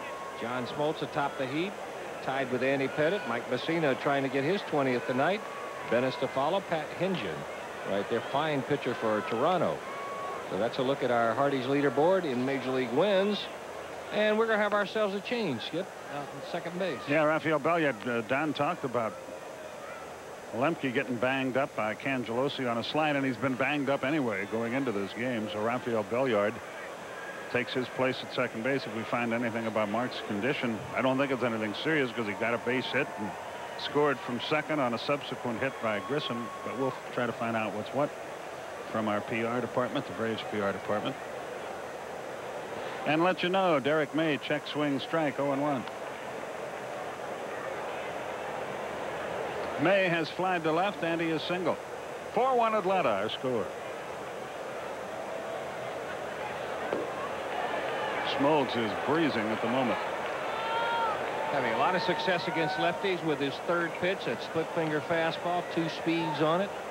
He wants to throw it again now. He'll throw it a little harder and use it for an out pitch. The 0-2. Low and away. A ball and two strikes. Same two teams tomorrow. It's a business persons or business fans Day special. Day game. Right. At one yeah, that too. At 110. We'll have it for you at 105. I almost slipped and called it a businessman special on radio. Boy, you can't do that anymore. Can't have Ladies' Day anymore, either, can you? I don't think so. The 2-2 pitch. Rounded foul, pass first. So wear a dress if you want, but come to the game at 110 tomorrow.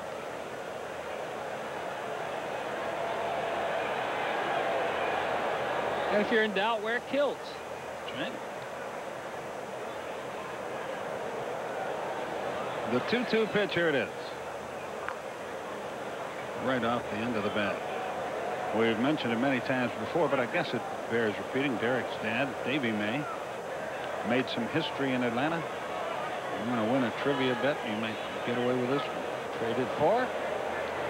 Fellow you just saw on a commercial on our local side, Henry Aaron. Henry went to Milwaukee, and Davy May, a good left-hand hitter, came to Atlanta. Over the pitcher's head, Belliard, an early chance, bad hop, throws late. See how they score it. It's a boot, even if he comes up after the bad hop.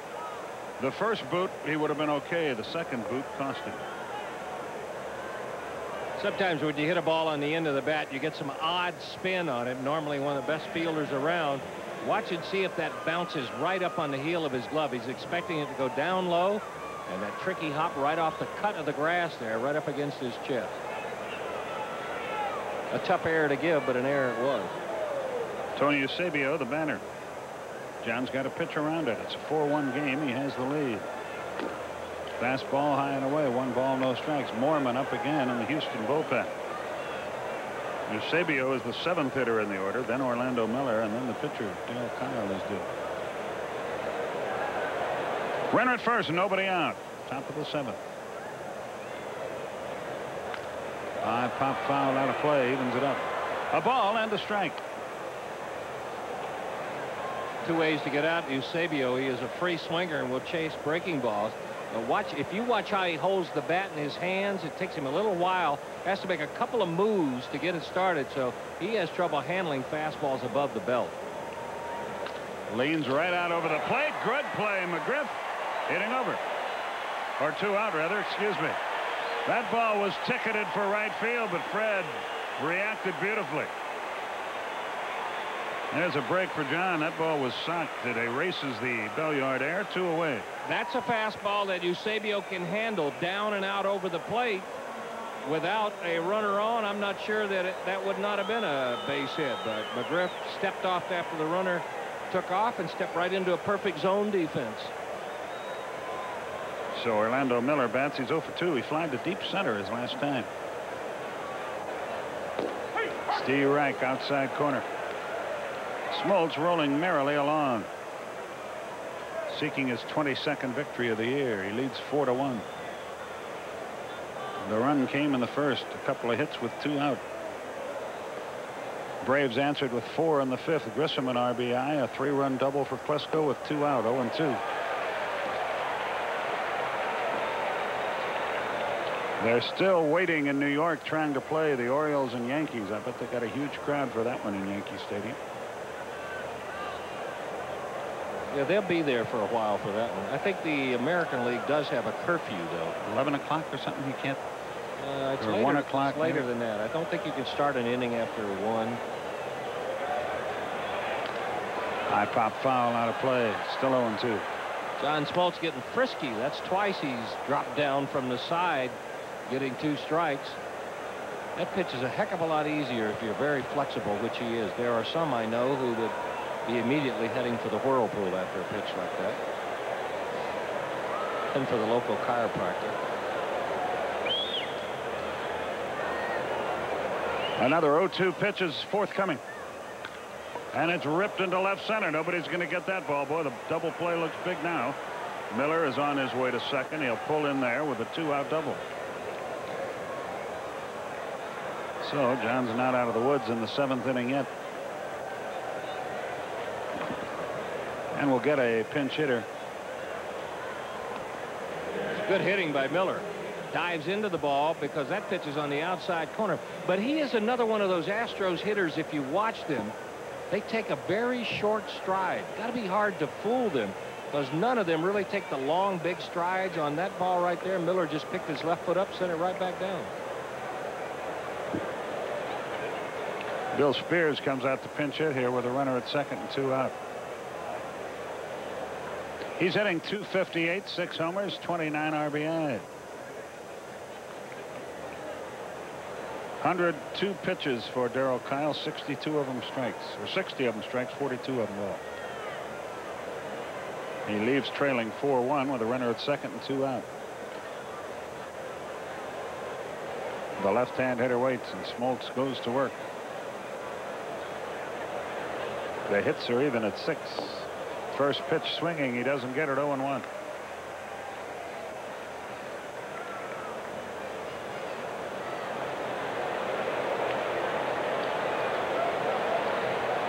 Florida hammering the Phillies tonight 9 to 1. Montreal winning 5 to 1 in the seventh. Not much of a batting average for Spiers coming off the bench, but when he does get hits, it's usually for extra bases.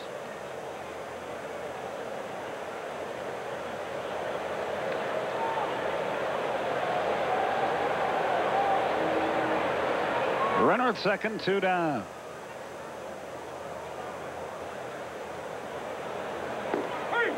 Right in there. So Smoltz ahead in the count, one and two. Used to be John basically had one or two weapons to dispose of you with, and he had already shown them to you by this far in the count. But yet, right now, he still hasn't shown him his best fastball. He still hasn't shown him his best split finger, and he hasn't shown him his slider. So he has three or four ways he can go to finish off a hitter now. And doesn't have to throw a strike right here. Inning over. Smoltz continues to roll merrily along. Seven strikeouts for him tonight. 232 on the year. One hit. No runs. One air, one left. Bottom of the seventh. Four to one, Atlanta.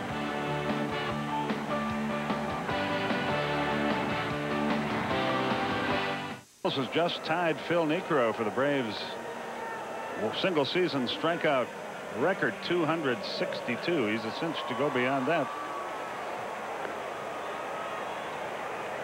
Charlie Buffinton. Buffinton pitched back. Way back there. Montreal now up six to one.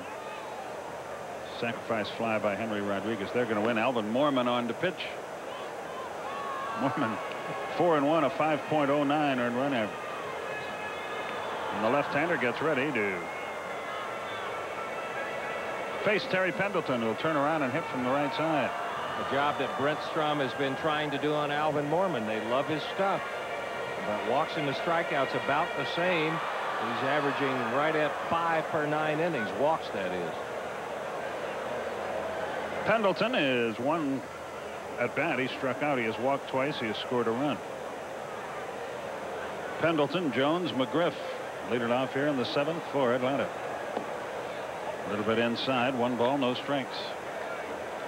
A 110 game tomorrow, 105 TV time.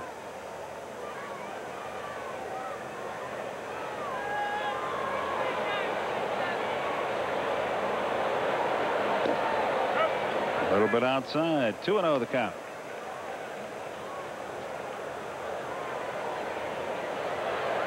Morman out of Rockingham, North Carolina, still lives there. He's out of Wingate College. Has a degree, a Bachelor of Arts in Business Administration.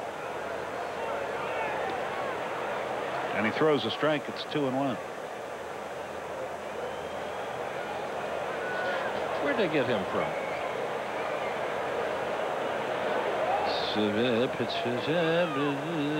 Selected by Houston in the 39th round of the 1987 draft. So they drafted him. He was from Yeah. their organization. Says they selected him in the 87 draft, but he didn't start pitching until 91. Maybe it's one of those deals where they drafted him. There's a walk to Pendleton to start the bottom of the seventh. And part of the deal was to pay for his college education. I don't know, but I can't think of any other explanation. Sixth walk by Houston pitchers, the first, of course, from Morman.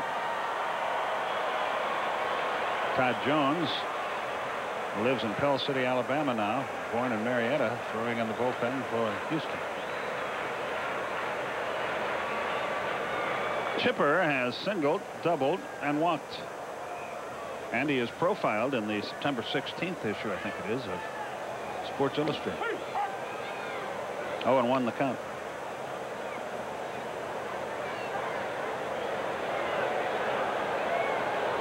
The first of many that Chipper Jones, maybe not even the first, but one of many that he will see before his career is over. Did he go? One and one the count. Four, six, and two for the Braves. One, six, and one for Terry Collins Astros. Fred McGriff on deck.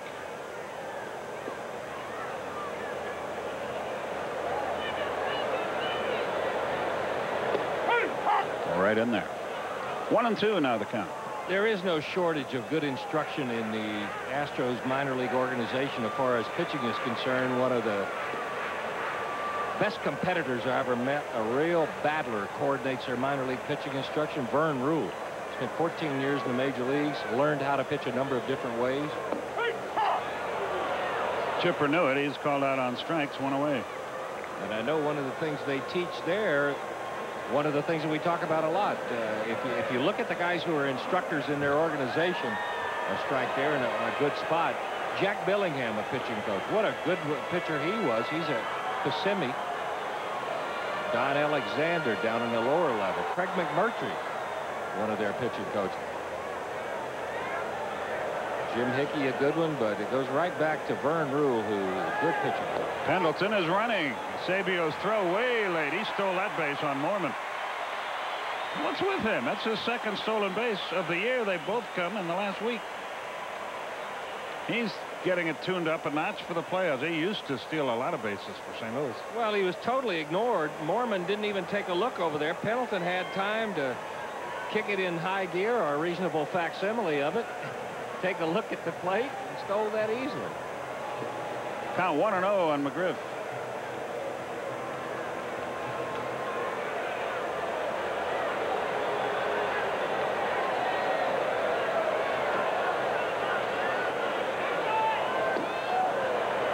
It's even now, a ball and a strike. Fred at 294. He has 173 hits on the year, 26 homers, 100 RBI. But his home run production really down. I just quickly checked back. He had 21 of them on July the 20th. So now September 17th. He may need a hit right here to keep that hitting streak alive, too, because it could be his last shot. You would hope so, that it's his last shot, I mean. Two balls and a strike.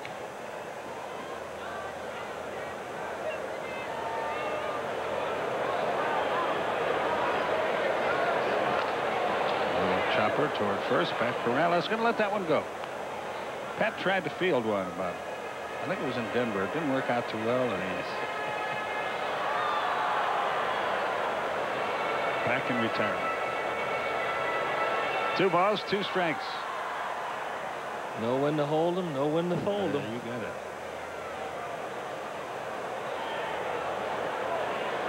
And the 2-2 pitch is forthcoming.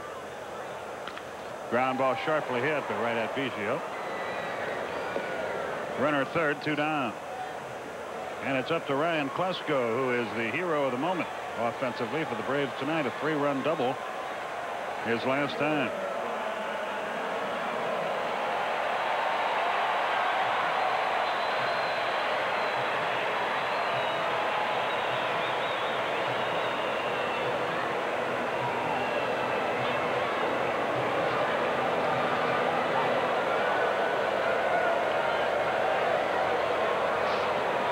Runner at third, two down. Morman works off the stretch into the dirt. Eusebio, good play.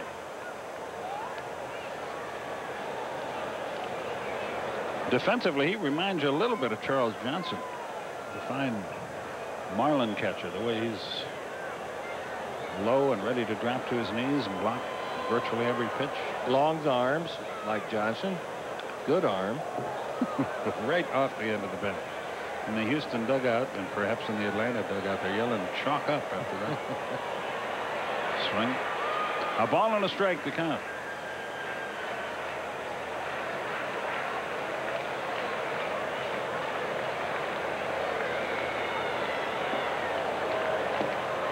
One and two the count. Why do ball players spit so much, Don? I have no idea. Oh, yes, I do. Because they have a lot of saliva in their mouth. I guess that's probably as good, good a reason as any. I never thought of it just that way. One and two the count. Chew a lot of gum. Two balls, two strikes. Probably a little nervous. I, am sure that that only normally though when I get nervous my mouth gets very dry, not very. Last time you got nervous was 1964. Rapid City, South Dakota. That's, that would make you nervous. Struck him out. Morman gets out of early trouble. A leadoff walk, but no problem for him. His second strikeout, no hits. No runs, no errors, one left. At the end of seven, 4-1 Atlanta. Finding out today that they'll be without Jim Leyland next year. And the rest of the National League, Montreal has now made that lead five. In Philadelphia, Florida is beating them up. Home runs by White, Abbott, and Colbrunn. Good pitching duel in St. Louis. Now 1-1 the score. L.A. at Colorado. It's raining there. And San Diego at San Francisco a little later on. We'll get you to the American League as soon as possible. Smoltz into the wind, and the first pitch of the eighth inning is rifled into right center. Cangelosi, a solid hit. That may get the Atlanta bullpen to turn things over. Runner at first, nobody out. I think the American League is possible right now. We were telling you before some of the other scores. Boston has taken a one-run lead over Detroit. It's still raining in New York. They may have gotten that one back underway. Milwaukee, Newfield has his second home run. Cleveland, Seitzer a grand slam to take the lead there. Minnesota and Kansas City in a one-run ball game. Oakland at California. Texas at Seattle. That is a complete look at the Delta scoreboard. Craig Biggio lines one into right. Dye comes on, makes the catch, fires toward first. He is safe. Fred can't come up, but I think he had beat it back anyway. Good hustling play by Jermaine Dye. Another ball sharply hit. Yeah, he comes in to make the catch, but watch him throw off balance. This shows you how strong his arm is. Uh, one hopper to Fred McGriff that made that a bang-bang play. There's Jeff Bagwell. No action in the Atlanta bullpen. I don't know if you've had it on your scoreboard, but the Cubs have tied the Cardinals at 1-1. Scott Service just drove in Ryne Sandberg. Cangelosi edges away. Foul to the screen. They're getting some pretty good swings now, better than they have than they were earlier in the game. Now they've been taking swings all night long, but now they're looking comfortable. They don't look like they're being fooled by some pitches like they were in the fourth, fifth, and sixth inning. Oh, and one the count.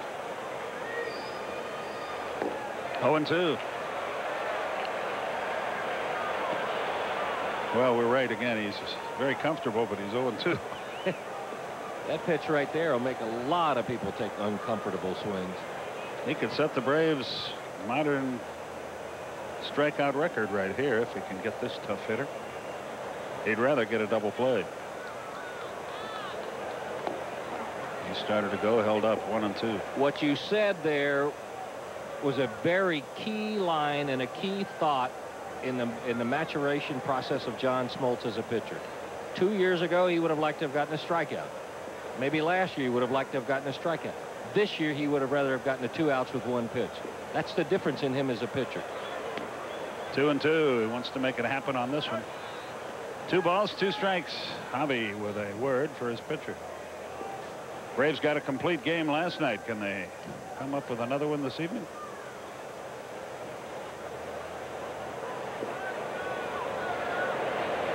The word was plastics. plastic. We were talking about old movies. That's one of the favorite lines with the graduate. You lost me right back there at plastics, buddy. Yeah, when they pulled the guy aside, he said, graduating from college, plastics. That's the word. I have a word for you. The 2-2 outside, full count. Let's see what the runner Cangelosi does down three late in the game. You'd think he'd stay home. Saw Matt Galante, the third base coach of the Astros. Actually coaching from shallow left field with Bagwell hitting. Not a bad idea.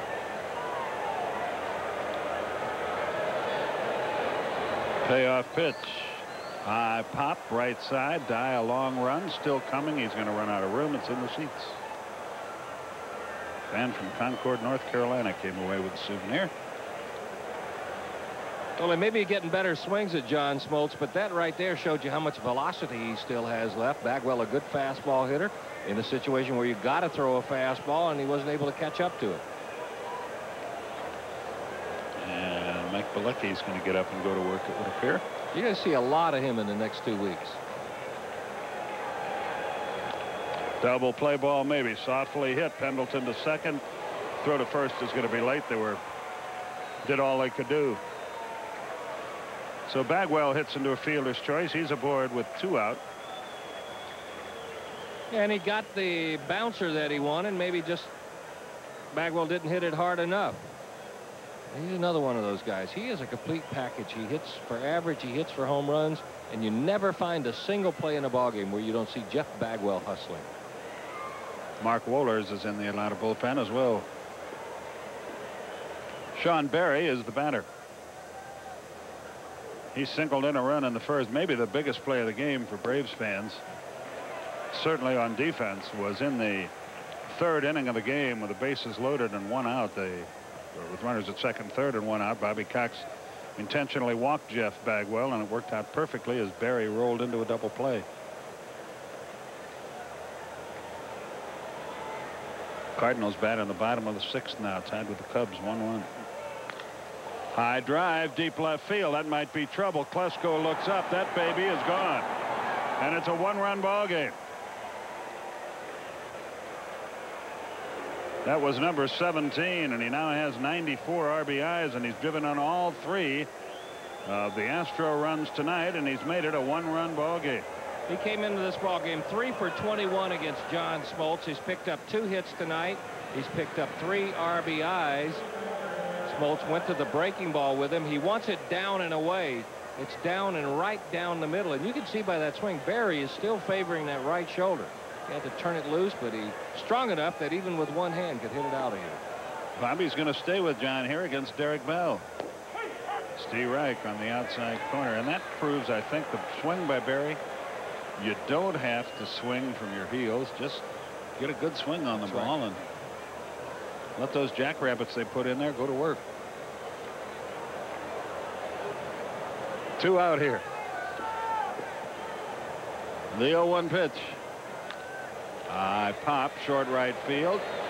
Out goes Belliard. He's got it, and the inning is over. But Houston moves back into the game. They score two runs on two hits. The home run by Berry, the big blow. There were no errors, nobody left. We go to the bottom half of the eighth. Braves could use some insurance. They lead now four to three. 17 saves, but the league hitting 267 against him. He has been a bit disappointing for them. Javy Lopez leads it off. Look out, fastball high and inside. He's got a great arm. Well, I think they thought they were going to have Hudek closing it out, and they were going to have Jones getting you to Hudek. That's one of the reasons they could let Dave Veres go. But both have battled some physical problems this year. One and one the count. Lopez Dye and Belliard due here. If anybody gets on, the pitcher would hit. Or a pinch hitter, depending on how Bobby chooses to play it. His bullpen is empty at the moment.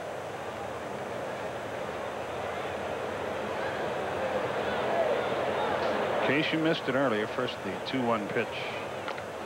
Up the middle. Can it sneak through? No. Biggio is there. Whirls, throws close. He beat it out. Javy legs out an infield hit to start the eighth inning. A little insurance would be just fine here. Low fastball, chopped up the middle. Biggio, the only one who can get to it. If Miller could have gotten to it with his momentum going toward first, could have gotten more on the throw, but an off-balance throw a little bit late. Look at him hustle. You can smell a base hit. That that fine gives you a gear you didn't know you had. Yeah, he got that hit his first two or three steps out of the batter's box by not giving up on it. Here's Jermaine Dye, who has line to left, popped to second and single. Into the dirt, one ball, no strikes. It's been decided by the Braves medical crew that David Justice is shut down for the year. He will not participate in any way as a pinch hitter or anything in the last couple of weeks of the season or any postseason play. He's doing just great. Everything's coming along. But the muscles, talking to Bobby before the game, the muscles are still very weak on the inside of the shoulder, and they're afraid that if his hand ever came off the bat or he had to dive or slide or got hit, that it could cause very, very serious damage, and it's just simply not worth the risk. That's the bad news. The good news is his rehabilitation is coming along great. Hanging curveball hit to deep center. Cangelosi going back to the wall. He's got room. Bangs against the wall. Look at Javy. He tags and goes to second base. Good hustling play. Jermaine Dye just missed getting it out of here, and I think that's what Javy thought. He thought it's either going to be a home run or it's going to be caught, and if it's caught, I want to get in scoring position. So he did a good job. Yeah, if you think it's going to be a double, you want to be where you can score on it, but that one hanging up so high. Got a bead on it right about here. Javy Lopez is back to the bag, the tag. Not even any effort. He's able to cruise in the second. And despite the good wheels he showed there, Tony Graffanino is going to run for him. Bobby's probably thinking, Bobby, you did real good to get to first. You did real good to get to second. Let's not tempt fate. And Dwight Smith is going to come out here and pinch hit for Rafael Belliard. Now Mark Wohlers is up again in the Atlanta bullpen. Bobby Cox gambling on getting an extra run or two a right-hander and a left-hander in the bullpen now for Houston. Tell you why you got to do this against the Astros. The Astros are 78 and 73 of their 78 wins. 35 of them have been comeback wins. And in 14 of their last 27, they have been comeback wins. So anytime you can get a chance to get more runs on the board, you got to do it.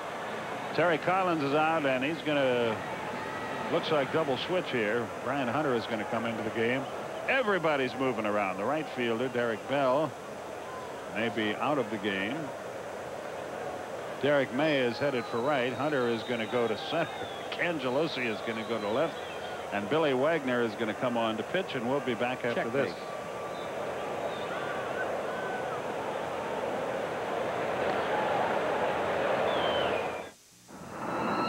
Bullpen, we gave you the changes. May moves to right. Wagner comes on to pitch.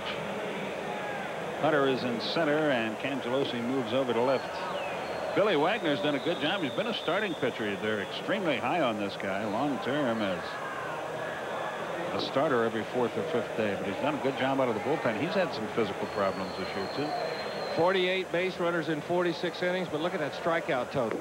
If you can get a lot of double plays or if you can strike out more than one an inning, you can afford that base on balls total, but still only one base runner per inning is pretty impressive. Mike Mordecai pinch hits for Dwight Smith. If you're a new baseball fan, you might be thinking, well, they'll use Dwight Smith later. No, they can't. He was announced, and once you're announced, you can pinch hit for him, but he cannot play anymore tonight, even though he didn't swing the bat. So Mordecai stands in, and Andruw Jones has grabbed the bat. He would pinch hit next. So it looks like Mark Wohlers, who's up in our bullpen, will finish things up for Atlanta. Another run would come in very handy here. Either Mordecai or Graffanino will play second base in the ninth. Morty hacks away, doesn't get it 0-1. Not a whole lot of wasted effort by Wagner. Short arms the ball a little bit. Probably doesn't throw at 99 miles an hour but he gets movement right at the end. A little bit of a deceptive motion. He's out of Tannersville, Virginia.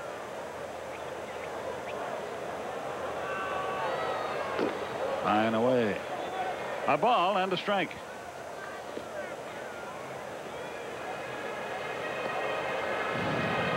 Looking ahead to the Houston ninth inning. Brian Hunter will probably lead it up. And Eusebio and Miller. We'll see.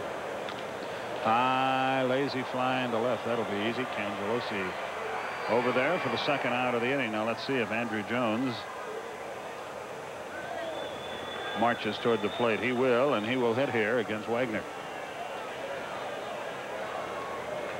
So John Smoltz is done. He cannot lose it. He can only win it. He has tied Phil Niekro. And he'll have to wait for his start against Montreal next. What's today? Tuesday? Mm -hmm. Wednesday, Thursday, Friday. Next, this coming Saturday night at 7:10 to set the modern day Atlanta strikeout record.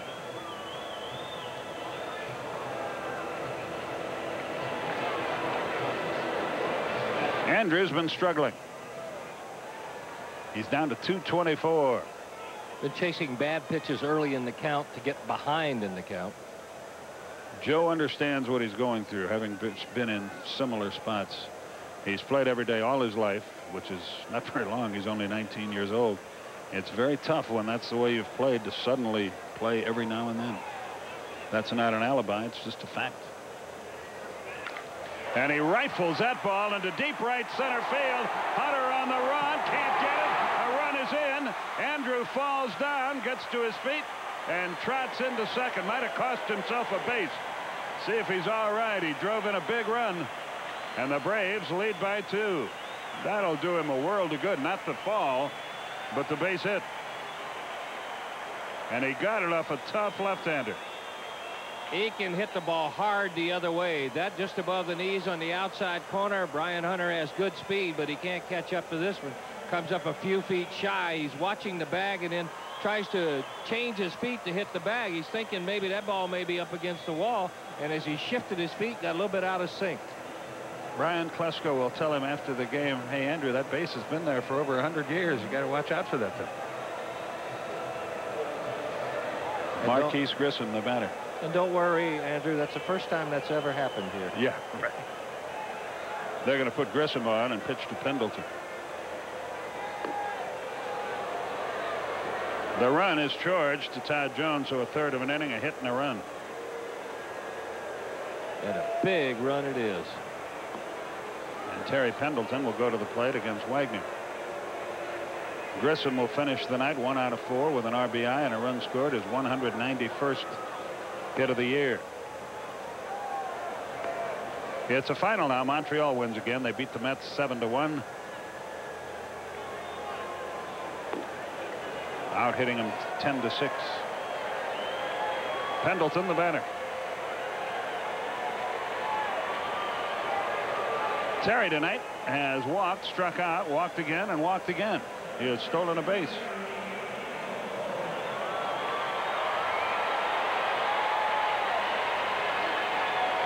Now Wohlers has sat down.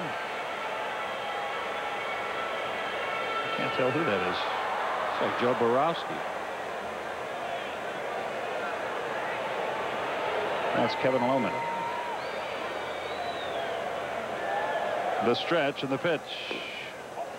A little high, one ball, no strikes. I'm quite sure that Wohlers is just ready and will enter this game.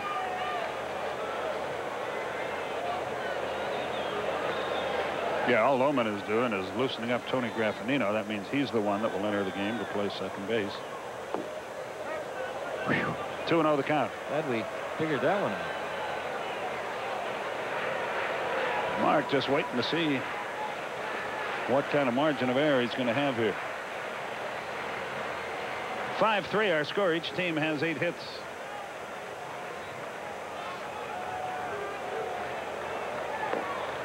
Look out. 3 and 0. He might just walk again. If he does, it'll load him up for Chipper. One of the things you have to learn to become a successful closer is how far you have to go to get ready and then just to kind of sit there and do nothing. A lot of guys will just keep throwing, but there is a point when you know you're ready, and now you just wait till it's your turn. He walked it. Bases loaded. Chipper has a chance to finish this baby off. Wagner issues his second pass. The eighth by Houston pitchers. Brent Storm on his way to the mound. You don't walk eight men in a pennant race very often and live to tell about it. What did I say? Storm Strom is the, man's name. I apologize. Chipper Jones tonight has singled, doubled, walked and scored and struck out. A base hit here would fit the bill very nicely.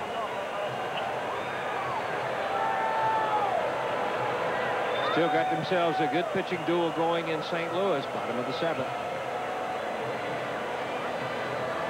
You know, the Cubs would love to knock off the Cardinals. Normally, we give you the standings per day. We have gotten it down to an exact science here. Strike to Chipper, 0-1. Yeah, the wild card standings as of, as of 10 o'clock tonight. Baltimore by three over Chicago, three and a half over Seattle, six over Boston. San Diego by a game and a half over Montreal, six over Colorado, seven over Houston. Off his foot, and he's quickly in the hole 0-2. Bottom line for Houston is they got to beat St. Louis or they go home. I mean, that's not a mathematical fact, but it just about is pretty Pretty new. pertinent.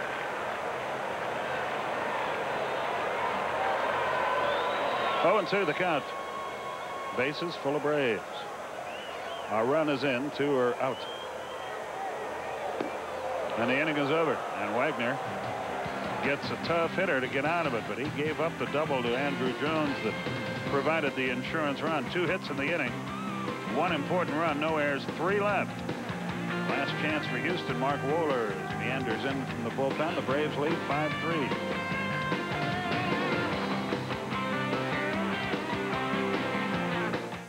Movies for guys who like movies. Thursday. Foul tip gets just a little of it, goes right over Eddie Perez's shoulder. That's why you wear the mask, Randy. Eusebio two out of four against Wohlers in his career.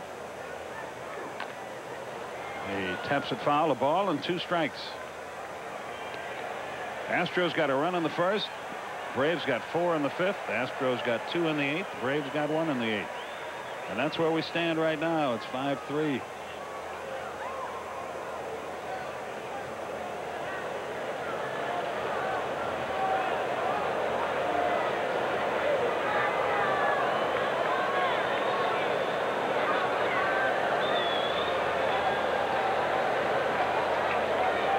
The one-two pitch.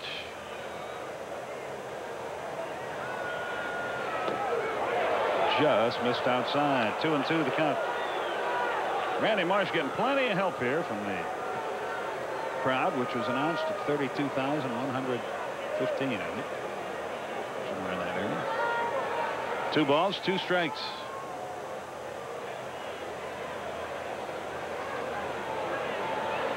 Orlando Miller waits to hit next. Brian Hunter would follow him. The 2-2 off the plate. That's trouble. Pendleton has to wait. Fields throws. He beat it. Terry had no choice. Once it hit that plate, you knew he was in a world of hurt. So the tying run comes to the plate, and it's a guy who's hit some dramatic home runs for these guys. Right off the front of the plate. Pendleton does everything that he can. Look, he's side saddle. He's already cocked to throw. He threw that like a second baseman turning a double play. Good hustle by Eusebio. Going to get a pinch runner at first base. I'm James Mouton comes in to run.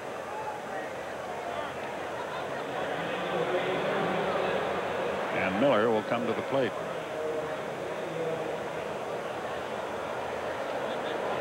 Miller one out of four in his career against the Atlanta right-hander. Interested to see what Mark Wohlers starts him off with because Miller is a good fastball hitter. Remember, he roped one off of John Smoltz, one of Smoltz's best fastballs of the night.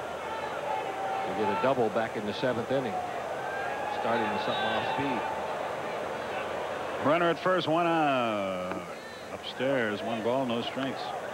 That three-run homer by Ken Caminiti gives him 121 RBIs for the year. A new Padres record. The old record, 119, was held by Dave Winfield.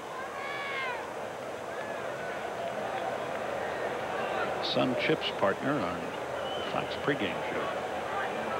The 1-0 pitch. Runner going. Swung, hit foul. The Braves always concede that run, and you don't like that, do you? No, I don't. I don't either. Because you eliminate, you have a guy here who is not going to hit the right field, even with a left-handed pull hitter up. I don't like it because you concede that base, you take the double play out of play, you eliminate another combination of ways to get an out. He's not going to hit the ball over there. And, and, you're talking about a matter of four or five feet that McGriff is going to expand his defense. I just think that's being a little too generous. Almost a ball. Has the Yankee game been either resumed or called yet? Or are they still hanging around? Anybody know? Still waiting. Boss may not turn out the lights there till about 3 a.m.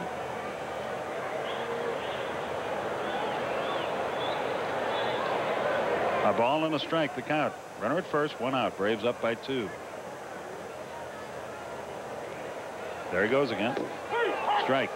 One and two, but the runner's at second. Catcher's indifference is the call, which means no stolen base for Mouton. But he gets to second anyway. So now the ground ball double play is no longer a factor here. Wohler is a very deliberate worker, but the way he's going, you don't want him to change a thing. The one two off his foot still one and two.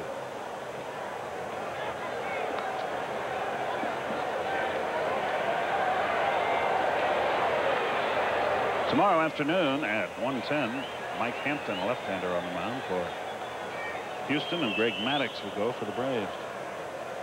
Hampton's pitched some good ball games against the Braves. He's a good-looking young pitcher, isn't he? He studies things intently here as he gets ready for his start tomorrow. Worst night of the week if you're a starting pitcher. You have to sit there and keep the chart all night. Line drive, right field base hit. Runner around third. They'll hold him there, but now the potential go-ahead run comes to the plate in the person of Brian Hunter. And he did hit the ball to right field, hit it sharply. So we're not out of this thing yet. Boy, the way it started. Looked like a good pitch. Down and away, maybe not even a strike, but he had made up his mind to hit it that way all the way. Might have been. Usually if a guy hits a ball that way off a fastball pitcher like Wohlers, he's looking for a breaking ball, just a little bit of a tardy swing. So Hunter stands in. He's been hampered by injury much of the year, but he's hitting 285. Five homers, 34 RBIs. Tough man to double. He runs extremely well. 0 for 2 against Mark Wohlers. More good news for Houston if they can win here. The pitch. Wild pitch to the backstop. Runner goes to second. And again, the double play is taken out of play. And now a base hit could mean two runs and a speedy runner at second base.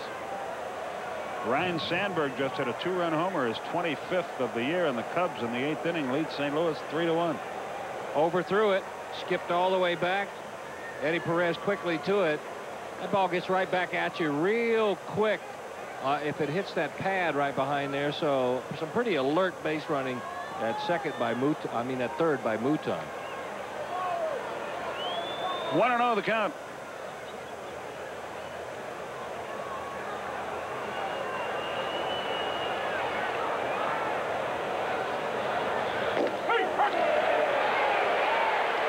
One and one.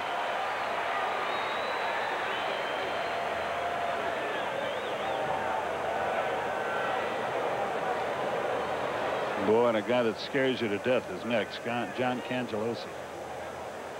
But first, you got to worry about Hunter. High pop. Over comes McGriff. No play. Lands in the front row behind the dugout. He had no chance. It's one and two. It would be harder right now if you had a guy up there who was a contact hitter. If you had a guy like uh, a, a Biggio or even a Cangelosi. And what you want to do if you're pitching is take advantage of the fact that Hunter probably will swing like he'd rather hit a three-run homer than a two-run single. Can't win it till you tie it. That's what scares you about Cangelosi next. You know he'll just try to slap ones. Right. But Hunter's dangerous.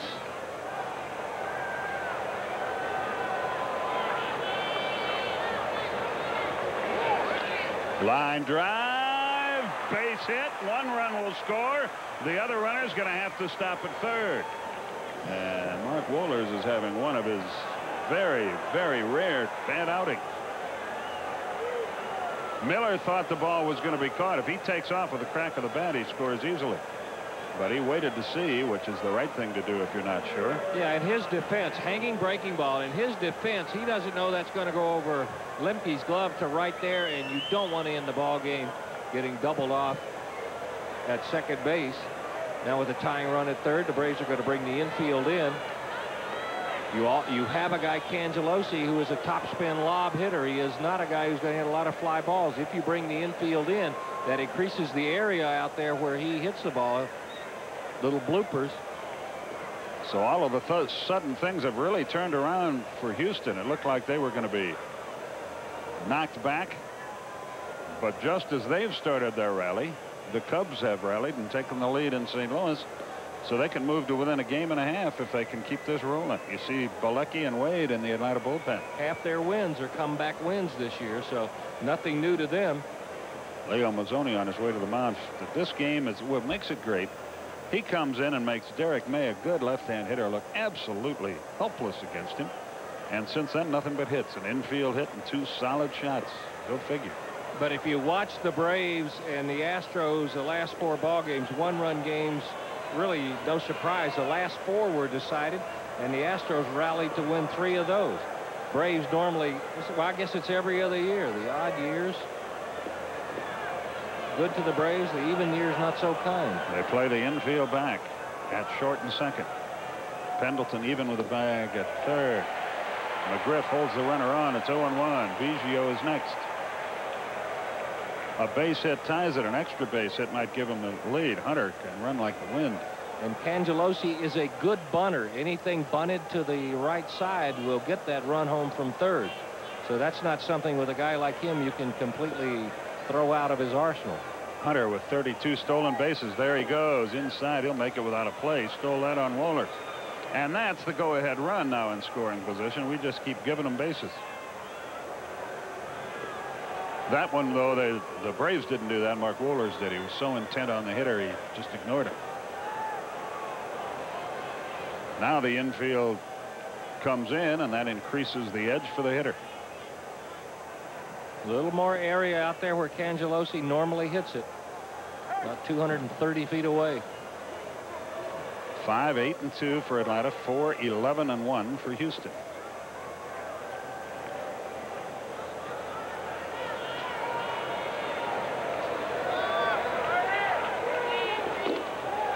Look how close to the plate he is. Right on it. It's almost like he's defying you to throw it inside. Probably can't handle it, but I'll take it on the wrist again. He's a tough little guy. I'd like to have him on my club. So would the Braves, in fact. I can't tell you how or why, but I know they've in the past tried to get Cangelosi, but unable to do so. Two balls and a strike. Three and one. Stop Eddie Perez. Perez doesn't make that play. It's a tie ball game. And the go-ahead runs at third with less than two out. Watch this. Diving split finger fastball. Unable to slide over there. Went down so quick, but he did a good job of blocking it, and he ended up in his mitt.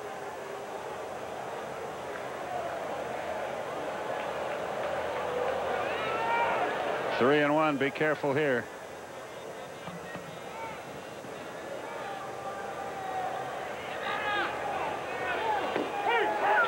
Right in there, three and two, but it didn't have much on it, did it? As he went to the off-speed pitch, what Cangelosi was looking for was a strike, but he was looking for a strike off the fastball. The off-speed pitch threw him off. If you can do that three and one, you've set up a whole bunch of options to strike him out. And that's what Mark is looking for here is the strikeout. But can he get it? He's got a tough man to fan. Payoff pitch. High, he walked him. Nowhere near. Cangelosi, boy, he's tough. So there's the first walk on the night for Wohlers, and now a tough hitter, Craig Biggio, comes to the plate. He is a clutch hitter. Three out of 11 in his career against the Atlanta right-hander. But he is the kind of guy normally that finds a way to put the ball in play. His natural swing and inside out swing. If I were Graffanino at second, I'd be ready. Infield back, hopeful of getting a double play. That's doable with Biggio, but he runs very, very well, as his 24 stolen bases would attest. No place to put him. Bagwell next. Upstairs, one ball, no strikes. 5-4 is our score. Houston has the tying run at third, the go-ahead run at second, insurance run at first. Realizing hitting was never by strength, about a 145 career hitter, but I think the way Wohlers is throwing, Biggio is a good enough hitter. I would make him throw me a strike before I'd cut on anything. He chased the high fastball. You might be right. That looked like it was upstairs. One and one. It's obvious Mark Wohlers is not in complete command. You do him a favor when you chase pitches out of the strike zone. No, that's kind of hard. It's easy to say sitting up here when it's going 99 miles an hour, but you make up your mind in that situation. I'm taking one anyway. Montreal has won their game tonight. Hot shot to third. They're going for two. Out there. Braves win. Wohlers got the double Graffanino some credit at second base, boy. He stood in and made a Lemke-like pivot. And the Braves get out of it and win the game. Wow. Good win for the Braves. They had won two in a row and looked like this one was going to get away. Watch the turn at second because Cangelosi is going up one side and down the other of Graffanino, but he turned it so easily